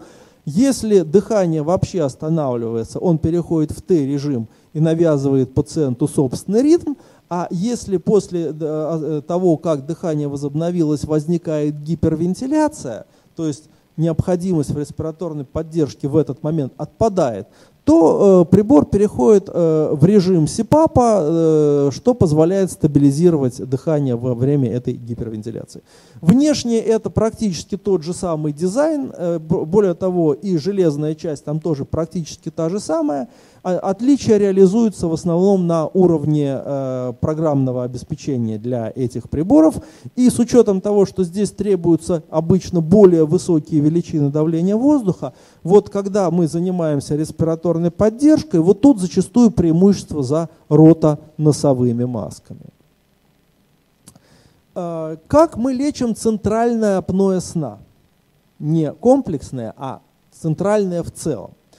Значит, э, на сегодняшний день рассматриваются варианты СИПАП, адаптивный серовентилятор, кислород, БИПАП и медикаментозная стимуляция дыхания. Э, на сегодняшний день ситуация такова. На уровне гайдлайнов признается, что нет достаточной доказательной базы, чтобы сформулировать обоснованные рекомендации по лечебным подходам к комплексному апноэ сна. На практике врачи в итоге используют подходы к лечению других форм центрального апноэ сна, что с точки зрения вашего покорного слуги ну, выглядит не совсем корректным, потому что это все-таки самостоятельный тип нарушения дыхания, и подходы к нему нужны свои. Но э, этот слайд просто формально иллюстрирует, что вот сравнивали, что лучше СИПАП, БИПАП или адаптивный сервовентилятор. Ну и в силу умности этой машинки вполне логично доказали, что адаптивная сервовентиляция более эффективна и более комфортна для пациентов с комплексным апноэ сна. И вот тут все обрадовались, все стало хорошо, все зааплодировали, и тут подоспело исследование SERV-HF. Ну, делалось оно, конечно же, не под комплексное апноэ сна, это большое исследование, которое ставило задачей доказать, что адаптивная серовентиляция э, улучшает э, выживаемость пациентов с хронической сердечной недостаточностью и развившимся на ее фоне дыханием Чейна Стокса.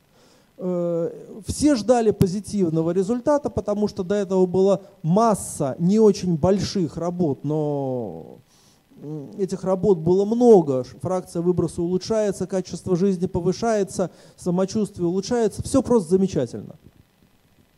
И тут, как разорвавшаяся бомба, сервовентилятор повышает смертность у больных с сердечной недостаточностью и дыханием Чейна Стокса. В итоге э, невозможность использования сервовентилятора у больных для лечения дыхания Чейна Стокса при систолической сердечной недостаточности включено в современные рекомендации как стандарт против.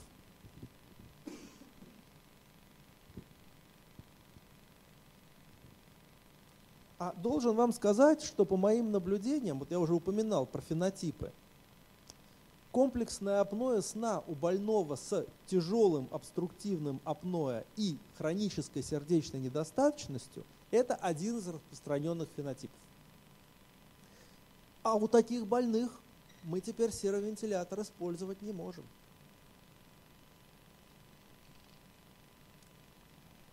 Не, значит, прежде чем я буду говорить о лечении, несколько моих собственных клинических наблюдений.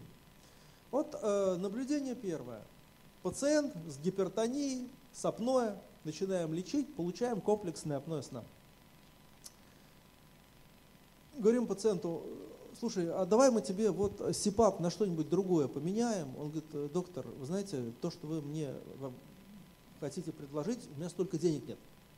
Я не могу купить БИПАП, он очень дорогой для меня. И вообще, я и так прекрасно себя чувствую. Я хорошо сплю, я теперь высыпаюсь, у меня нет сонливости. Давайте я буду дальше СИПАПом пользоваться. Пользуется. Через 8 недель индекс центральных апноэ такой же маленький, как и индекс обструктивных. Все нормально, само прошло. Второй вариант. Еще более показательный и демонстративный. Больной с пароксизмальной формой фибрилляции предсердий. Госпитализировали, полечили, убедились в недостаточной эффективности антиаритмической терапии.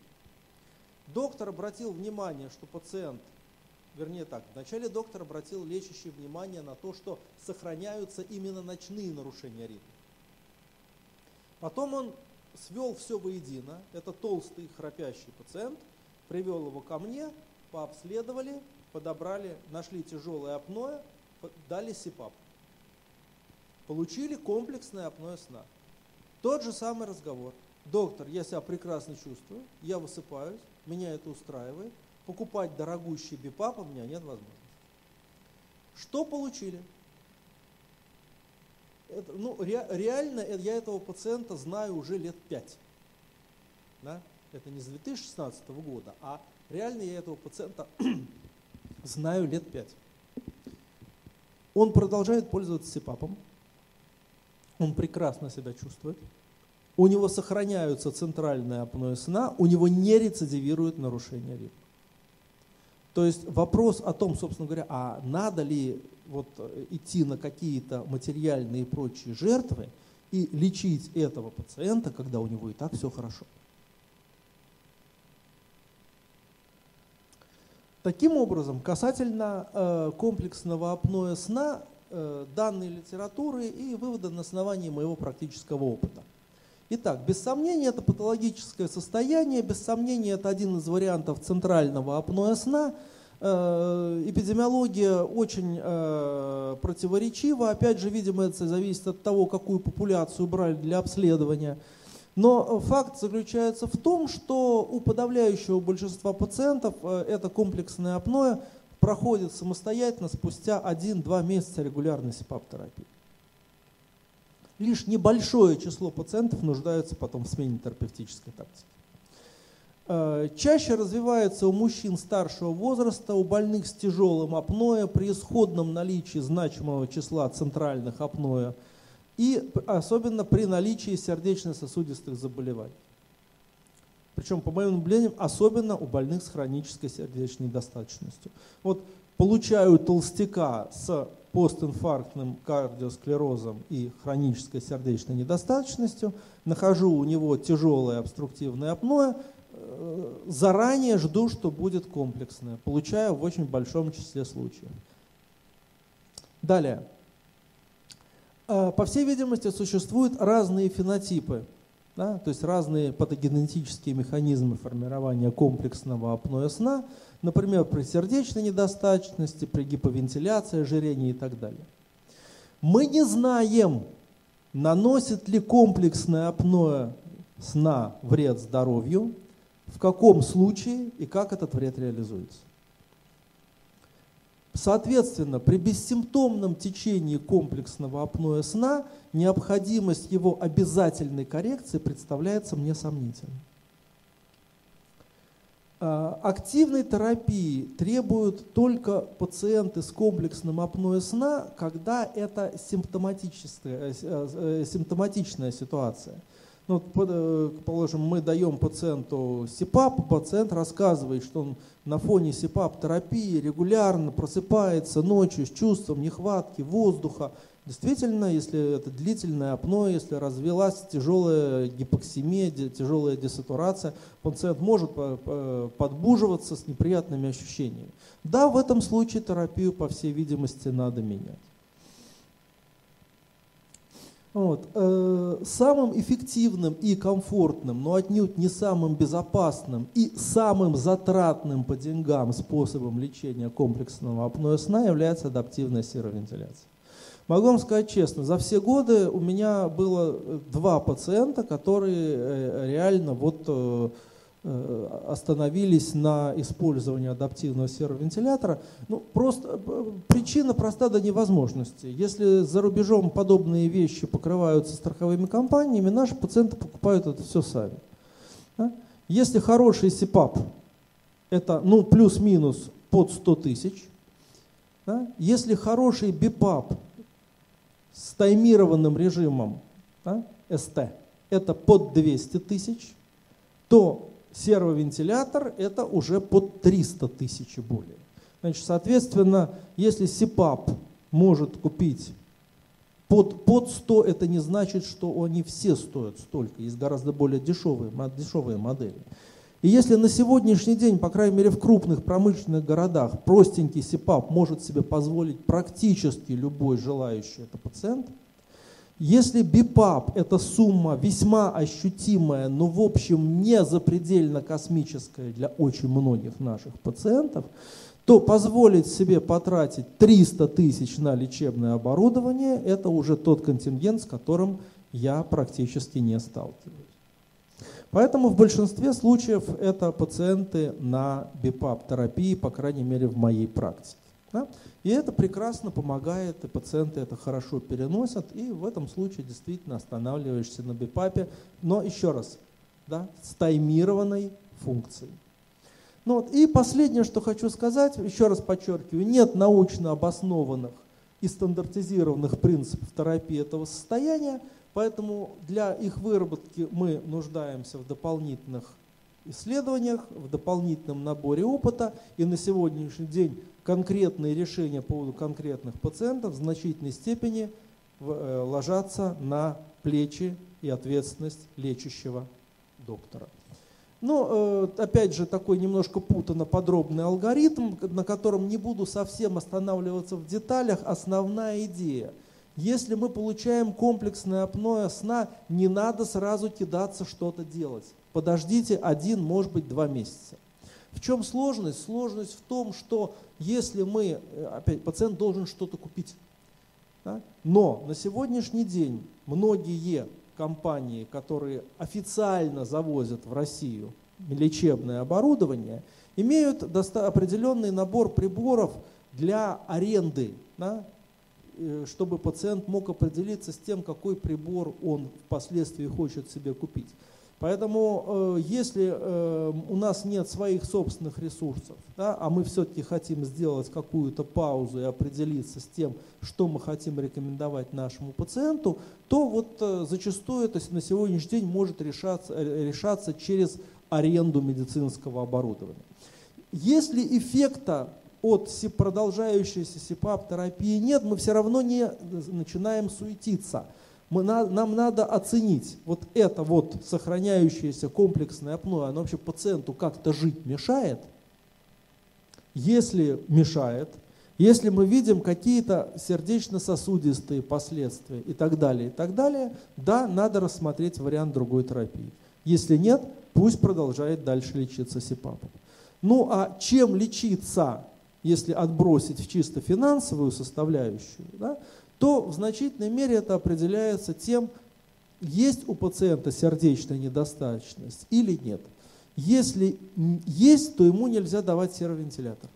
Если нет, то весь комплекс лечебных мероприятий, которые потенциально применимы для людей с, э, с центральным апноэ сна. Хроническая гиповентиляция, ассоциированная со сном. Ну, чаще всего это э, упоминается в связи с синдромом ожирения гиповентиляции или пиквикским синдромом. Но второй термин я не люблю, потому что идет постоянная путаница. Потому что описанный Чарльзом Диккенсом э, полный молодой человек Джо, э, судя по описанию Диккенса, был толст, храпуч и сонлив, то есть страдал обструктивным апноэ сна, а никакой не гиповентиляции, ожирения.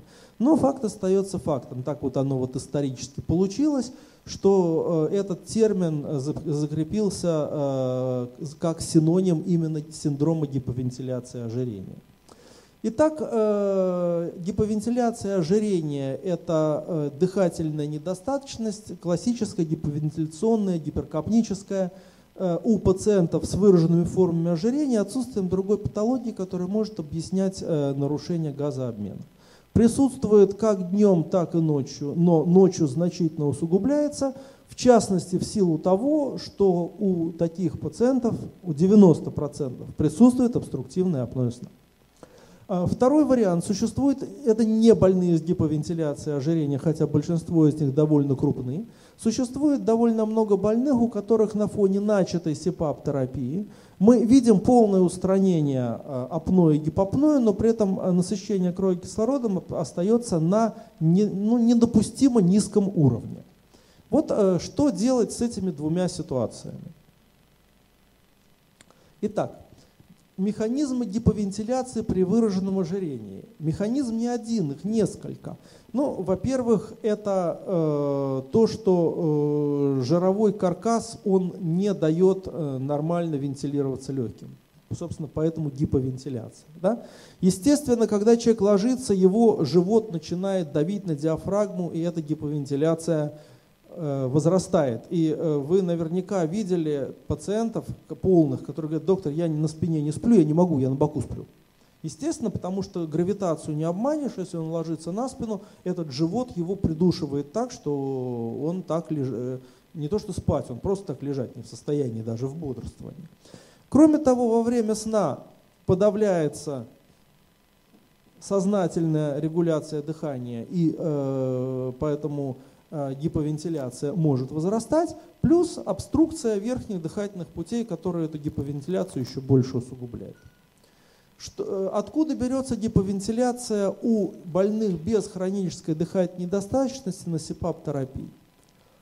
Это исходная дисфункция рецепторного аппарата дыхания, которая развилась на фоне обструктивного апноэ. Это хроническое утомление дыхательной мускулатуры, поверьте мне на слово, вот это вот Э, работам дыхательных мышц по преодолению обструкции это весьма большая мышечная нагрузка. Не зря же эти пациенты рассказывают, что просыпаются в поту ночью э, э, и потеет в основном верхняя часть тела, да, потому как очень большая мышечная работа. Это так называемый рикошет РЭМ-сна, Э, ну, неврологи, наверное, знают, что это такое, если не только неврологи. Если при, апно, если при обструктивном апное сна РЭМ-сон присутствует в, ну, скажем так, в, в аномально малом количестве, то как компенсаторный эффект при восстановлении нормального дыхания его становится слишком много. А э, для РЭМ-сна его еще иногда называют физиологический паралич. При РЭМ-сне значительная часть мускулатуры отключается, в том числе дыхательной. И человек дышит только за счет диафрагмы. А этой самой диафрагмы может немножечко не хватить, чтобы продышать такого пациента. Потому что, напоминаю, СИПАП раскрывает дыхательные пути, но минимально влияет на вентиляцию легких в целом. Да? И сохраняющийся первое время отек слизистых, храп – это биение стенок глотки, биение стенок глотки – это хроническая травма, и отек слизистой, который может быть весьма выражен и в значительной мере закупоривать глотку пациента. Несколько дней сепап-терапии, э, последствия травмы уходят, отек уходит, просвет глотки увеличивается, вентиляция улучшается. Соответственно, вы видите, что все перечисленные факторы, они модифицируемы и обратимы на фоне лечения. Значит, э, этот слайд иллюстрирует, что у здорового человека Дыхание, э, э, вы поймете э, на следующем слайде, зачем я вам сейчас это показываю. Просто напоминаю основу физиологии. У здорового человека дыхание, его регуляция ориентирована на содержание углекислого газа.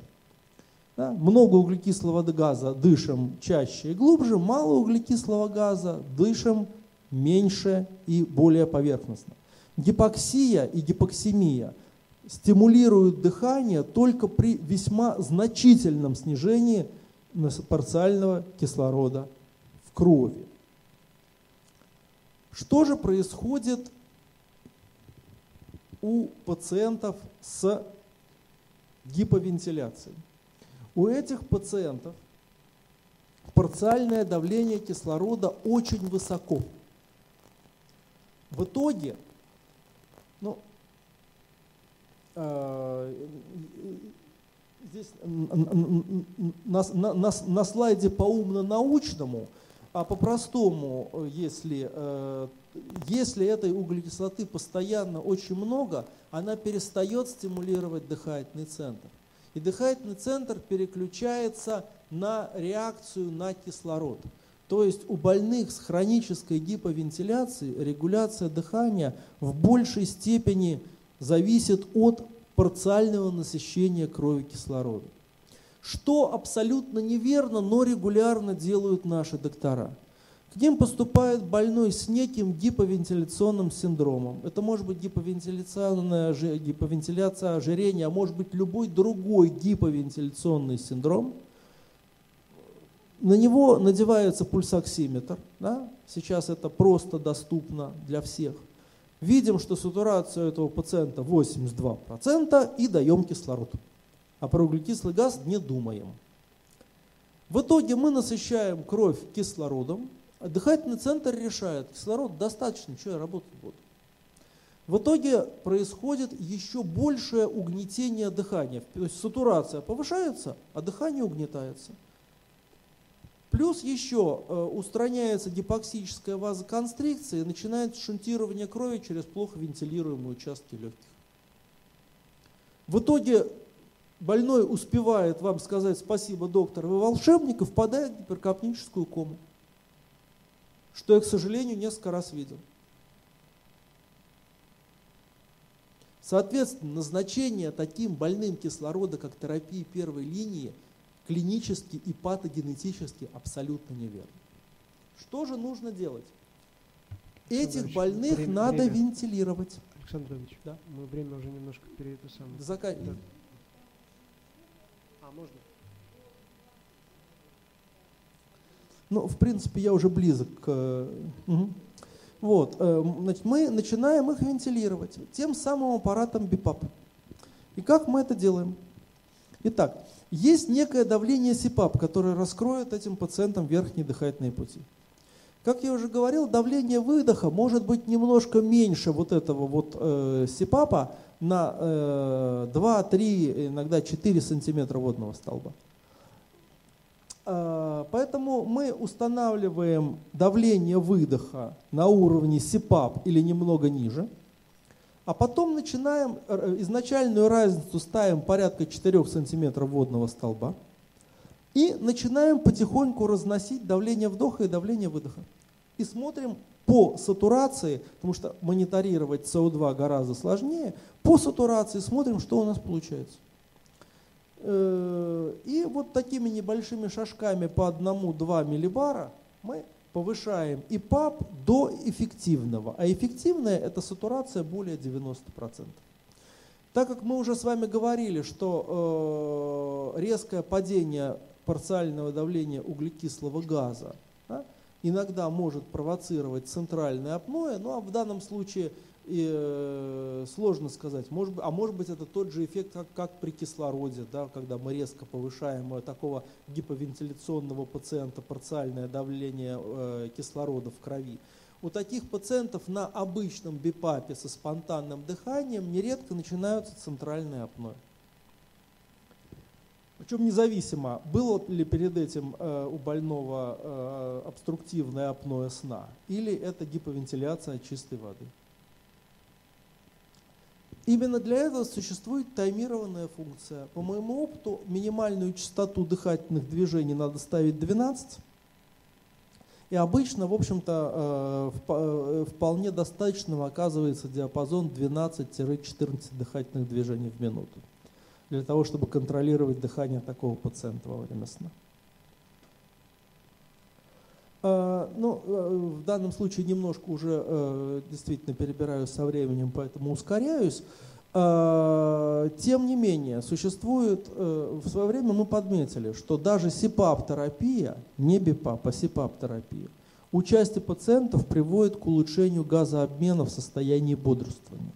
То есть существует некоторое количество пациентов с гиповентиляцией, патогенетически завязанные на наличие апноэ сна. И, соответственно, это послужило основанием для проведения нескольких наших небольших исследований, суть которых э, была в сравнении с СИПАП и БИПАП терапией при гиповентиляции, у, при, гипове, при гиповентиляционных синдромах. И если брать больных с не очень тяжелой гипоксемией, с не очень большим ожирением и с тяжелым апноэ, и э, давать им СИПАП и БИПАП, то опять же не надо сразу же начинать нервничать. У подавляющего большинства апноиков без хронической дыхательной недостаточности СИПАП-терапия через неделю даст тот же самый результат по ночному газообмену, что и БИПАП. Собственно говоря, с момента появления э, СИПАПов с функцией сброса давления на выдохе, а это, как вы понимаете, такой как бы ну, БИПАП лайт, да, у меня пациенты э, с апноэ сна, не с хронической гиповентиляцией, а с апноэ сна, БИПАПом почти не лечатся. Просто вот я упоминал, что для таких пациентов предпочтителен СИПАП, а не автосипап. Вот такому пациенту, у которого во время э, пациент с выраженным ожирением, с тяжелым апноэ, вот, э, даем такому пациенту СИПАП с функцией сброса давления на выдохе, и в, и в большинстве случаев этого оказывается достаточно. Автосипап с таким пациентом потенциально можно не справить, может не справиться, хотя имеете право попробовать. Вот. А вот при синдроме гиповентиляции ожирения ситуация другая. Там теоретически можно ожидать ответ на СИПАП-терапию участия пациентов. Но это будут пациенты, мало отличавшиеся от тех, которые были на первом слайде. Вот чуть-чуть только газы днем сдвинулись, а он тяжеленный апноик. Вот там можно ожидать какого-то эффекта от СИПАП-терапии. Если это истинный синдром гиповентиляции ожирения, да, с тяжелой дыхательной, вот эти классические пиквики, да, э, с, с тяжелой дыхательной недостаточностью, с хроническим легочным сердцем, там все-таки БИПАП.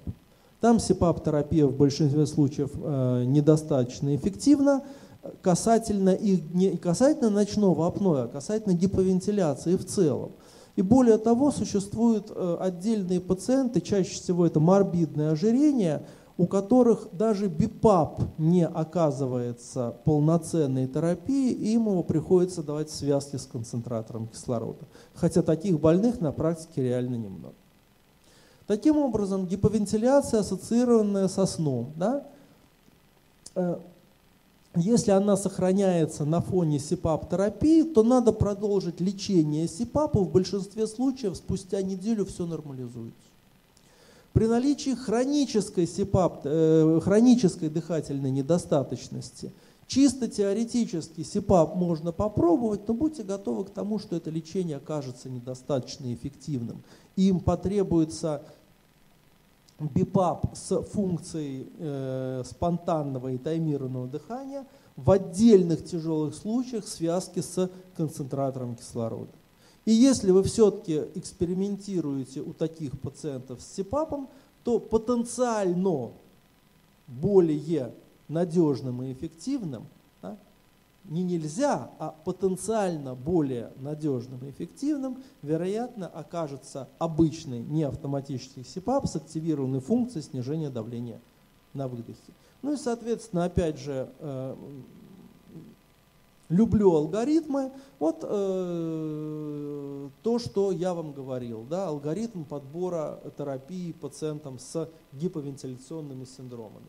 Если это гиповентиляция на, на, без хронической дыхательной недостаточности и с тяжелым апноэ, то это кандидаты на СИПАП-терапию.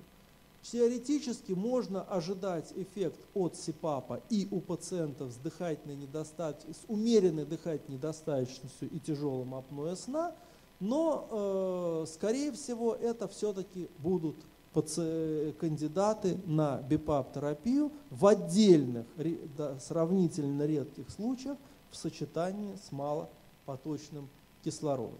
Значит, э, все запомнить и сразу осмыслить, особенно если вы не являетесь, э, не обладаете опытом в респираторной медицине сна, затруднительно. Вот э, практически все, что я рассказал, вот на, э, это наш сайт, э, который в основном рассчитан на пациентов, но вот э, в вертикальной колонке последняя иконка в помощь врачу, там собраны наши актуальные публикации, преимущественно такого как бы, ну, а, методического характера. Это не высокая наука, а это что, чего, как, либо описание конкретных случаев, кого и как мы лечили. Соответственно, э, это, это, это все, все, что было, это то, что было опубликовано в разнообразных журналах, это мы поместили в свободный доступ. Ну и, соответственно, благодарю вас за внимание. На этом слайде контактная информация. Пожалуйста, мы открыты для взаимодействия, сотрудничества. Ну, э, пациентов присылать не предлагаю, у вас есть свои специалисты, но если кто-то захочет с нами пообщаться, добро пожаловать. Спасибо Благодарю за внимание. Спасибо огромное, Александр Давыдович. Есть ли вопросы? У нас есть время. Да.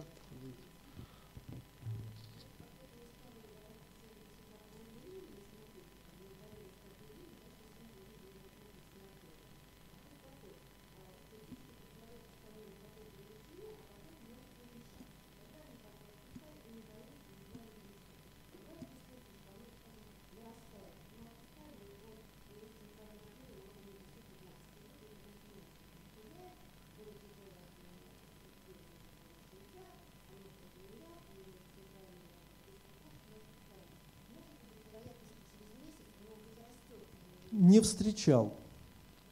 Э, вы знаете, тут единственный момент есть. Э, вот там на, в схеме патогенеза, которую я приводил, я про это не упомянул, но э, одна из концепций, что один из провокаторов комплексного апноэ сна – это перерастяжение легких и, и, и гиперстимуляция рецепторов растяжения. Вот э, один из вариантов комплексного апноэ сна – это ситуация, когда мы перетитровали давление. То есть вот э, иногда бывает, особенно с тех времен, когда у меня были, э, э, когда я работал больше с неавтоматическими приборами, начинаешь подбирать давление, уходит обструктивное апноэ, ну, краем уха уловил, что он там немножко где-то что-то всхрапнул, Э, решил сделать совсем все хорошо, добавил пару-тройку сантиметров водного столба и получил центральное апноэ. Убрал, все вернулось на норму. Да? Еще, э, вот я вам говорил, просто э, как бы, ну, формат времени не позволил. Вот э, к вопросу о улучшении легочной вентиляции. Да? Вот э, бывают, у меня были прецеденты, когда просто отключили, хотя это не истинный бипап, но все-таки это разница между вдохом и выдохом. Да? Вот э, у меня были пациенты, и я, кстати, потом залез на несколько англоязычных форумов, там тоже говорится, про, приводились подобные примеры. Вот у некоторых пациентов достаточно вот эту вот комфортную опцию отключить, снижение давления на выдохе, да, и это уберет им комплексное апноэ. В итоге у меня есть несколько пациентов, которым трудно засыпать на э, стабильном СИПАПе, да, но ночью это у них провоцирует комплексное апноэ, если включать эту функцию. У них я это ставлю только на рамп. Вот 30 минут у него сброс давления на выдохе, он засыпает, дальше идет обычный э, СИПАП без сброса давления. Э, то есть э, теоретически могут быть разные варианты, но если вы подобрали пациенту э, какое-то лечение, и ни пациент, ни кто-то еще шаловливыми ручками в настройки залезать не будет, то вероятность того, что это возрастет в процессе лечения, с моей точки зрения, критически стремится к нулю.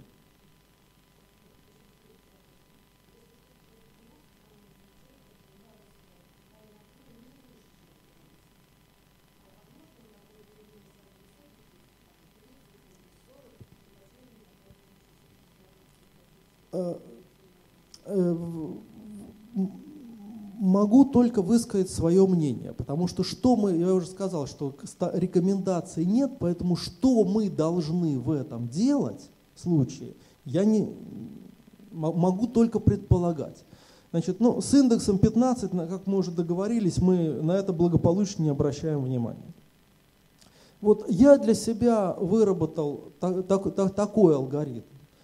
Опять же, это, конечно, спекуляция, но по аналогии с тяжестью обструктивного апноэ, да, вот э, если индекс апноэ гипопноэ при, комплексном, при комплексных событиях больше 30, и это сопровождается снижением сатурации ниже 90%, да, и эта ситуация на глазах не улучшается, вот тогда я предлагаю пациенту рассмотреть вопрос о переходе на другую терапию, даже если он при этом говорит, что чувствует себя хорошо.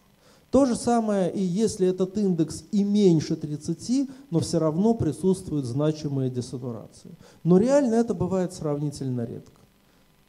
Единичные случаи я помню, когда комплексное апноэ с индексом более 30. Обычно это 15, 20, ну 25 может быть. Да? И опять же, так как это центральное, а не обструктивное апноэ, там э, большой гипоксемии обычно нет. Там, положим, когда человек дышит нормально, у него сатурация 95, а на фоне комплексного апноэ она снижается, ну, например, до 93, 92. Ну и ради бога.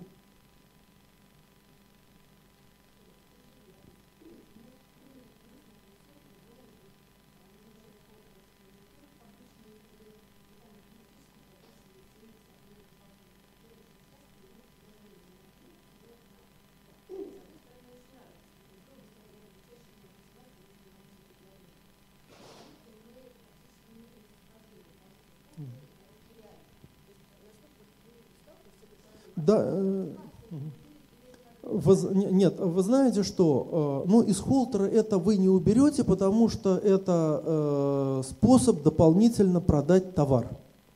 И есть определенные работы, которые показывают, что существуют алгоритмы определения апноэ сна на основании холтеровского мониторирования.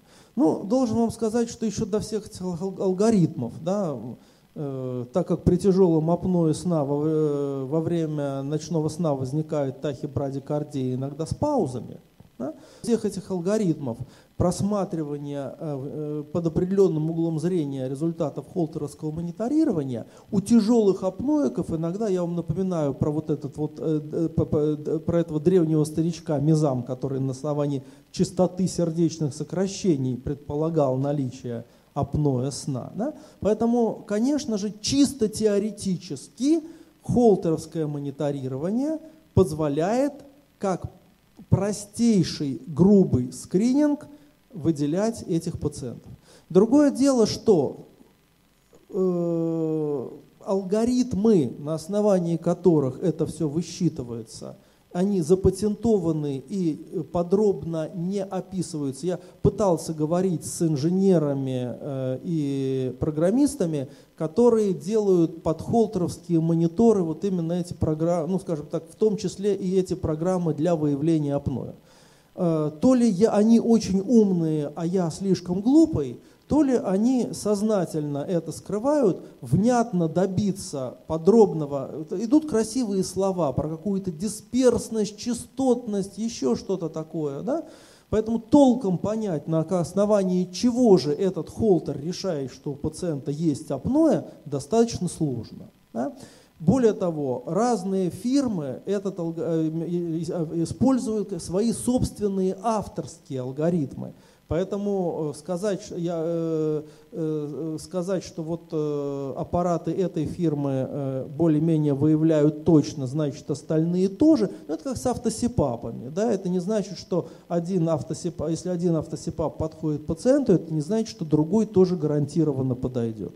На сегодняшний день, вот, э, вы знаете, вы несколько предвосхитили мои, даже мои планы. Вот мы сейчас начинаем а, одно исследование, которое в числе прочего э, предполагает валидизацию вот такого вот алгоритма, который включен в э, программное обеспечение холтеровских мониторов, ну, одного из ведущих мировых производителей, так скажем.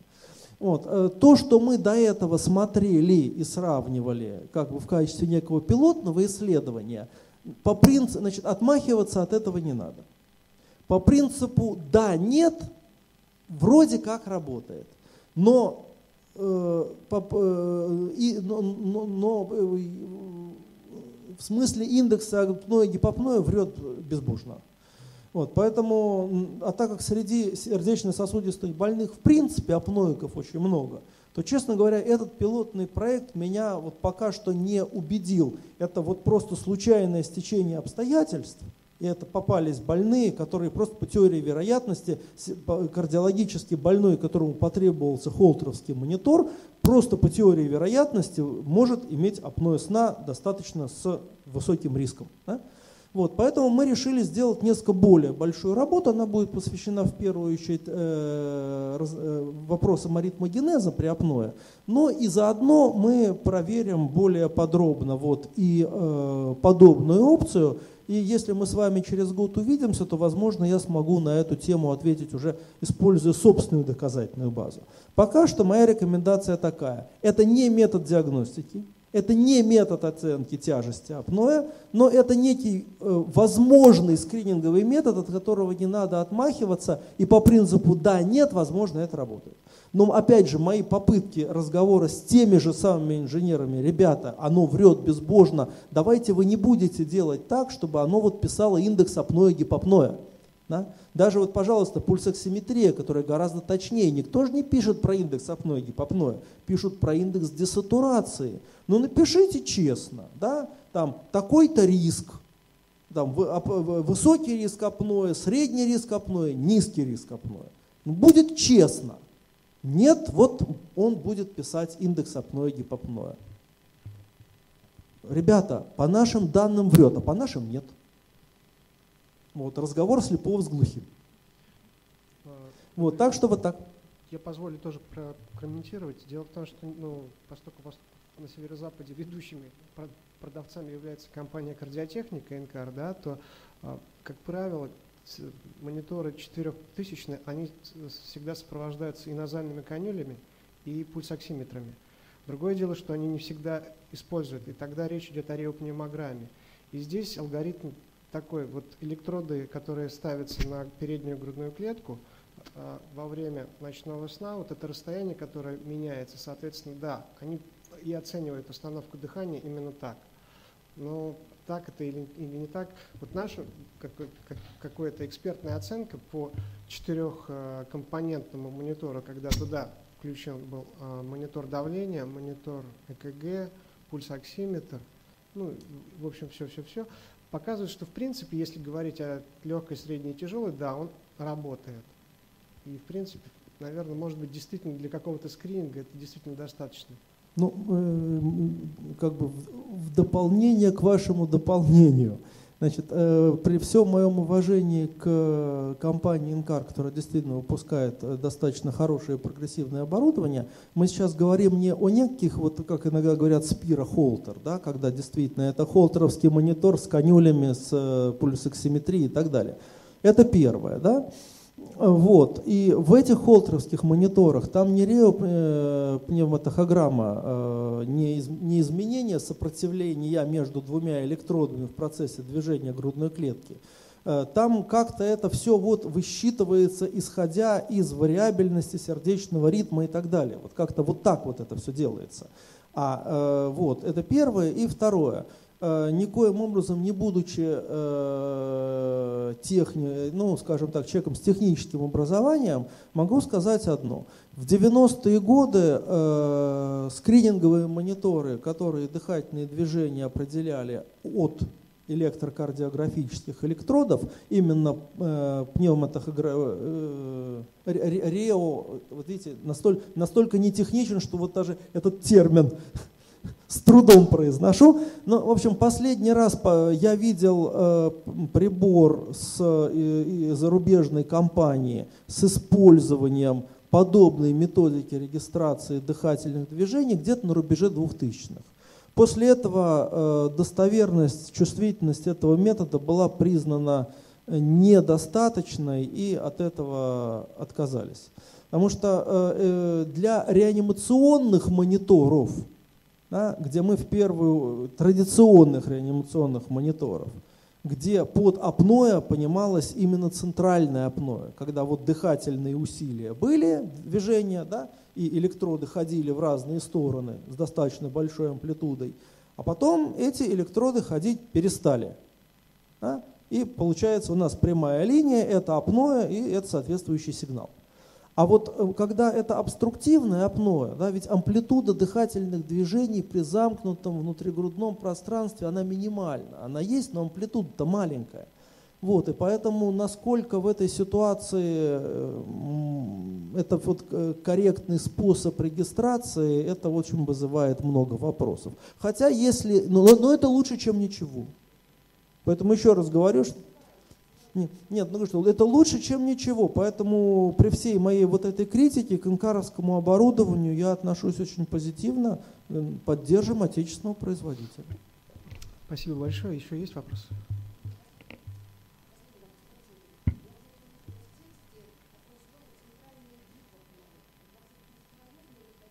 Нет, э, если есть... Э, э,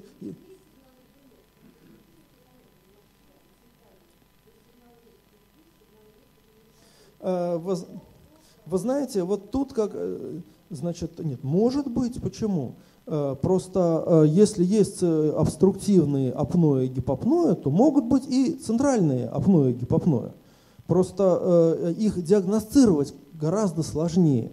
Вот диагностика центрального гипопноя – это самая большая проблема, особенно при условии э, отсутствия полисомнографии. Значит, э, ну, условно говоря, э, если батарейка разрядилась полностью, да, то зайчик не бегает игрушечный. А если батарейка начала садиться, то зайчик шевелится, но медленно. Вот приблизительно то же самое. Да? Если, удыха, если дыхательное усилие уменьшилось за счет центральных механизмов, то тогда это центральная гипопноя. При полисомнографии это определяется достаточно легко. Уменьшение амплитуды дыхательных усилий, сопровождающееся определенной десатурацией, и эраузал либо не возникает, либо возникает на пике гипервентиляции компенсаторной. Ведь, э, опять же, иногда делают ошибку, да, что центральное обструктивное апноэ – это всегда arousal, да, и это один как бы из патогоничных признаков, а центральное апноэ – это отсутствие arousal. Не совсем так. Э, при э, том же самом чейнстоксе эраузал и нарушения сна могут быть, но если при обструктивном апное эраузал – это механизм, который позволяет это апное прервать, то при э, дыхании Чейна Стокса э, это э, последствие вот этого вот гипервентиляционного компонента. И поэтому человек начал дышать, и мы видим этот эраузал отсрочен на пике гипервентиляции. Значит, если мы видим уменьшение дыхательного объема с десатурацией и отсутствием эраузала, либо эраузалом на фоне компенсаторной гипервентиляции, это центральный гипопной. Ну, я уже не говорю про то, что там существуют разнообразные варианты а-ля э, эзофагиальный зонд для оценки дыхательного усилия, да, э, инва, ми, ми, миограмма межреберных мышц, э, для определения степени дыхательного усилия, то есть уменьшилось, не уменьшилось, это, это в общем, мало где на практике применяется, в России, по-моему, вообще нигде. Вот. Ну вот такие простейшие вещи, вот я вам сказал.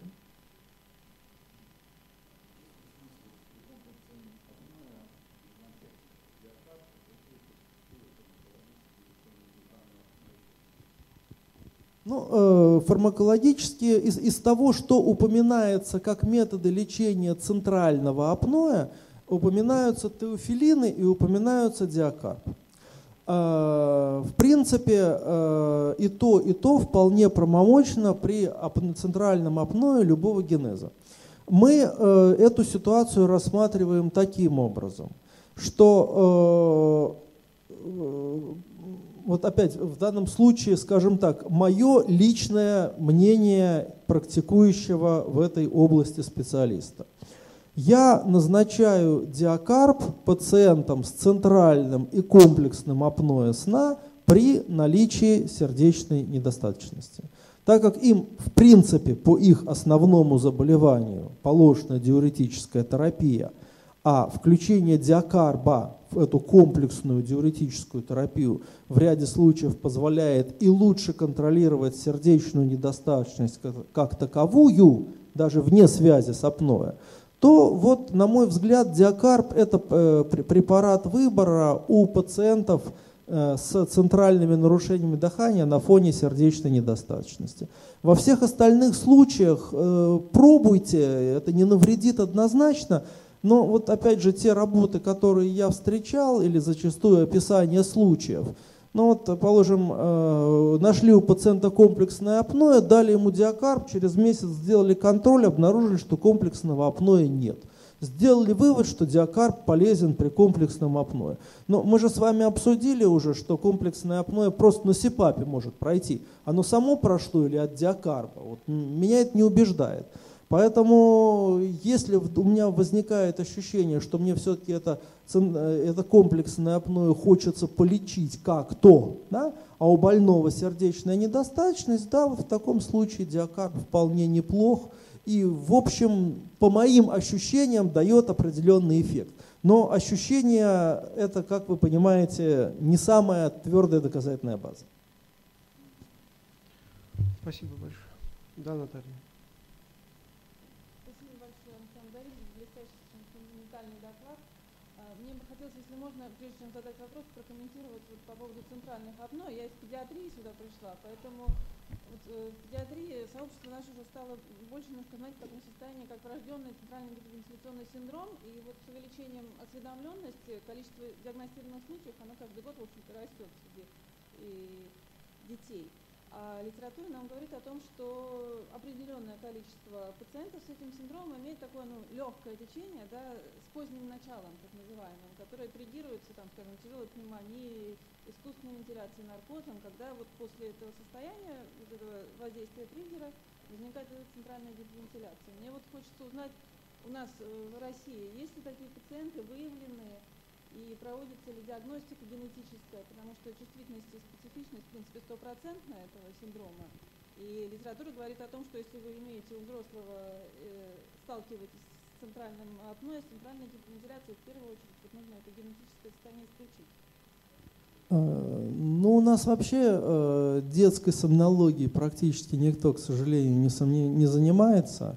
Вот. Я э, боюсь, что не смогу квалифицированно ответить на ваш вопрос, потому что я доктор взрослый, и про вот эти педиатрические состояния я исключительно слышал и что-то читал.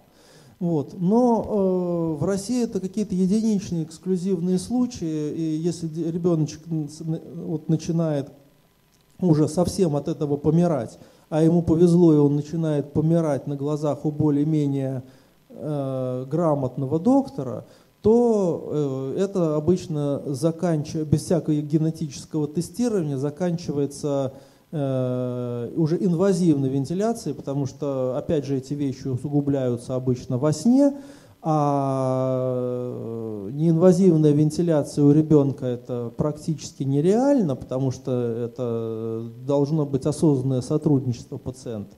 Обычно таким детишкам делают трахеостому, ставят около кроватки респиратор, настраивают его на тысячу эламов, потому что, опять же, ребенок это может все выдрать в любой момент – вот. Э, слышал про лечение подобных вещей диафрагмальным пейсмейкингом, э, но в России этим вообще никто не занимается. Этим э, за рубежом-то занимаются единичные европейские, североамериканские центры. В Москве уже три поставили.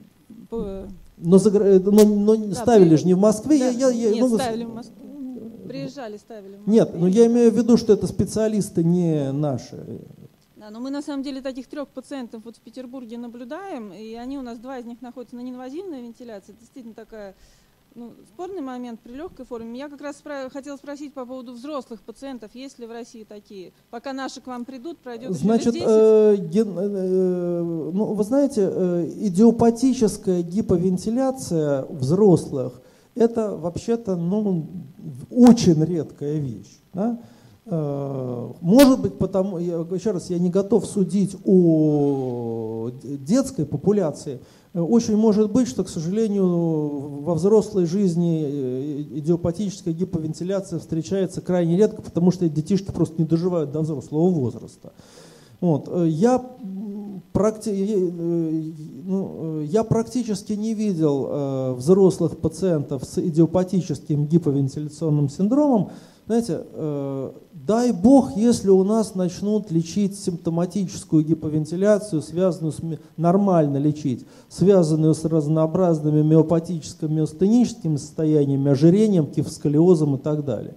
Потому что таких-то больных навалом, их никто не лечит, а у нас есть очень большой опыт, что мы таких пациентов э, фактически ну, помирашками к нам поступающих, мы их реабилитируем до полного возвращения к нормальной, активной, в том числе и социальной и трудовой деятельности. Вот, э, так что вот половинчатый такой ответ про, вот, э, про детей. Вот всегда говорю честно, я не педиатр, не, не, люблю, не люблю заниматься э, демагогией, рассуждать на тему о том, в чем я не очень разбираюсь. Про детей мы знаем, я как раз про взрослых. И просто, ну, это чисто комментарий, что, наверное, центральную гиповентиляцию, вот, по данным буквально последних лет литературы, надо все-таки генетически типировать, это ну, недорого. А теперь вопрос, ну, опять к нашим, если возвращаться, обструктивным э, делам. Вот группа пациентов с э, э, синдромом обструктивного апноэ средней тяжести. Я понимаю так, что вот взрослая классификация, э, вернее алгоритм лечения построен на сердечно-сосудистых рисках. А если мы будем говорить о других рисках, насколько они учитываются? Неврологические, психические, это риски э, профессиональной дневной работы. А, вот, я, когда мы говорим, что не надо нет, нет, нет, нет, нет, лечить нет, нет я хочу, чтобы вы все меня правильно поняли. Может, я не да, я, нет, нет, я, я, видимо, недостаточно четко сформулировал. Избави Бог, я не сказал, что не надо лечить средне-тяжелых апноиков. Я сказал, что в категорическом, безальтернативном и безапелляционном, без дискуссии лечении нуждаются больные с тяжелой формой обструктивного апноэ сна, и это лечение СИПАП. У пациентов со средне-тяжелым апноэ сна и даже у некоторых пациентов с легким апноэ сна да, принимается решение о терапии. Но это именно принимается решение. Нашли индекс больше 30, дальше думать не надо, надо дать СИПАП. А дальше, э, ведь, понимаете, мы говорим, вам нужен СИПАП. Пациент говорит, а я не хочу с этой гадостью спать, а я не буду с этой гадостью спать. Или он пытается, а не может с этой э, машинкой спать. Естественно, надо учитывать все. Я же сказал, что, э, нужда, одна, ну, что решение о лечении средне-тяжелых форм апноэ, ну, хорошо, средне-тяжелых и легких, при, может, может приниматься индивидуально на основании не только сердечно-сосудистых рисков, если это водитель, если это пилот самолета, и у него при этом среднем тяжелом апноэ сонливость, а извините, пожалуйста, 20 раузелов в час можно быть очень сонливым. А? Тогда, конечно же, нужен СИПАП. Ну, либо ротовое, короче, нужно какое-то лечение. Не на 100% в этом случае это обязателен СИПАП, но какое-то лечение должно быть. Пациент нон-дипер, да, у него вроде относительно не тяжелое апноэ, но он гипертоник, у него отсутствует ночное снижение артериального давления. Большинство нон-диперов в таком случае это взаимосвязь с апноэ сна. Конечно, надо лечить. Там, э, пациент э, говорит, что ему там трудно справляться с работой, у него нарушение внимания, или в каких-то тестах мы выявили у него это нарушение внимания, если это какое-то профессиональное, какое профессиональное тестирование, да, нужно лечить. Но есть определенная категория пациентов со средне-тяжелым апноэ сна, у которых, которые э, пришли только потому, что их пригнала жена, которую достал их храп. Единственное, что они хотят, чтобы жена от них отстала. И все. Вот. А, э, ну, это, да, это, это, это тоже повод, и я им всегда говорю, вы знаете, э, что как бы жену любите, да, хотите, чтобы не развелась, да, ну тогда давайте вот э, будем этим заниматься. Реально есть, причем как бы эти были исследования по статистике разводов, связанных с храпом одного из супругов. Вполне себе убедительные цифры в итоге получились, впечатляющие. Вот. Ну, не самая основная причина разводов, конечно, но весомая.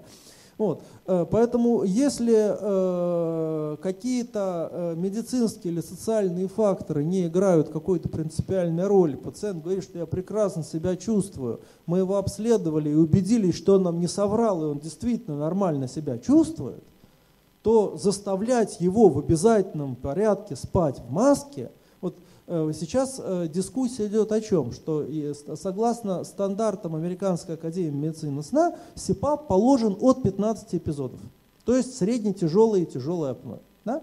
Сейчас идет, никто не обсуждает необходимость лечения тяжелого. Обсуждаются нюансы и подходы к лечению средне-тяжелых пациентов. Что возможно, не на уровне стандарта, а возможно, что некоторая бессимптомная часть из них не нуждается в обязательном лечении. Вот такая формулировка гораздо более аккуратная и осторожная.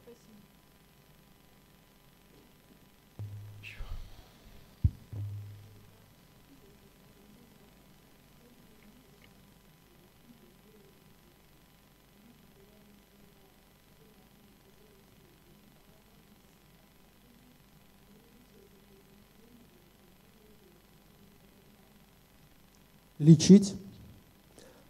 Не, э, вы знаете, э, когда меня спрашивают, значит, СИПАП, по, опять же, это написано на, на уровне стандартов, что э, побочные эффекты СИПАП-терапии минимальны, не опасны и в большинстве случаев обратимы. Э, когда меня спрашивают, доктор, а со мной может случиться что-нибудь плохое от СИПАПа? Я говорю только одно, может, если вы уроните себе его на ногу. Э, у меня, э, ну, значит, бронхообструктивная патология вообще не является не, не противопоказанием, наоборот, это дополнительное показание. Есть такое понятие синдром перекреста, когда это э, overlap синдром, ну, этот вот overlap термин используется очень много где, но в частности он используется для сочетания апноэ хоббл. У таких больных более тяжелая дыхательная недостаточность и быстрее развивается хроническое легочное сердце. Поэтому наличие у больного хронической легочной патологии э, – это скорее дополнительное показание к началу СИПАП-терапии, чем противопоказание. Конечно же, чисто теоретически, если у больного огромные, понимаете, если честно, так как большинство больных тяжелых бронхолегочных вот с теми самыми булами и тяжеленной хобл, они скорее кахексичны. Я таких вот, э, чтобы это все сочеталось еще и с тяжелой формой обструктивного апноэ сна, ну, я сейчас вот пытаюсь вспомнить за последние годы, хоть одного я такого видел или нет – вот, чтобы где-то были вот, э, толстые, при этом с гигантскими булами, с э, жутчайшей эмфиземой. Они, толстые, они же скорее бронхитический тип, э, чем эмфизематозный. Вот, но я не встречал, и на, есть, но, но если теоретически допустить эту всю ситуацию, да, знаете, действительно бывает, э, я понимаю, почему вы спрашиваете, потому что вот в реанимационной практике действительно существует такое понятие, как баротравма на фоне искусственной вентиляции легких. Вот. Но э, там э, используются совершенно другие величины давления. Там не, чаще используется не бипап контроль по давлению, а волюм вентилятора с контролем по объему. То есть прибор дает не давление, а объем. И он должен всунуть в пациента этот объем воздуха. И чтобы всунуть в пациента этот заданный объем воздуха, ну, там зачастую цифры давления бывают 30 э, сантиметров водного столба и больше.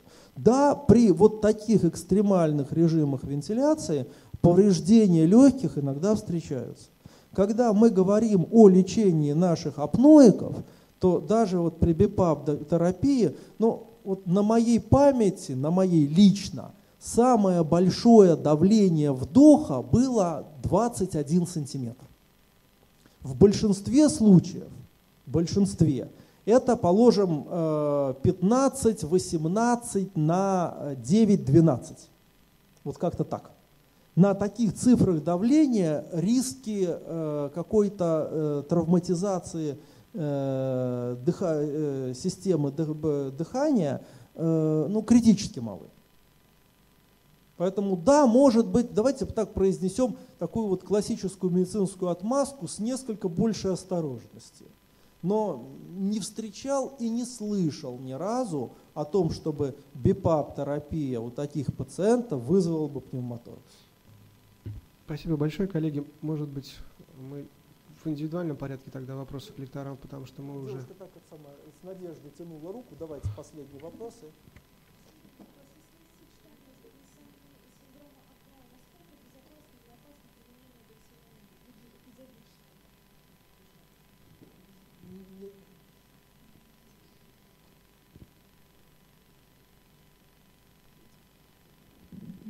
Если есть э, синдром апноэ и сочетание с нарушением засыпания, возможно ли применение доксиламина эпизодически? А доксиламин это у нас кто? Э, Это снотворное. Нет, я помню, что это э, снотворное. К- Производная э, гистаминовых блокаторов первого типа. А, все, понял. Значит вы, зна- значит, вы знаете что? Значит, тут ситуация такова. Э, Вот я вам сейчас скажу не то, что в инструкциях написано, а скажу мое мнение.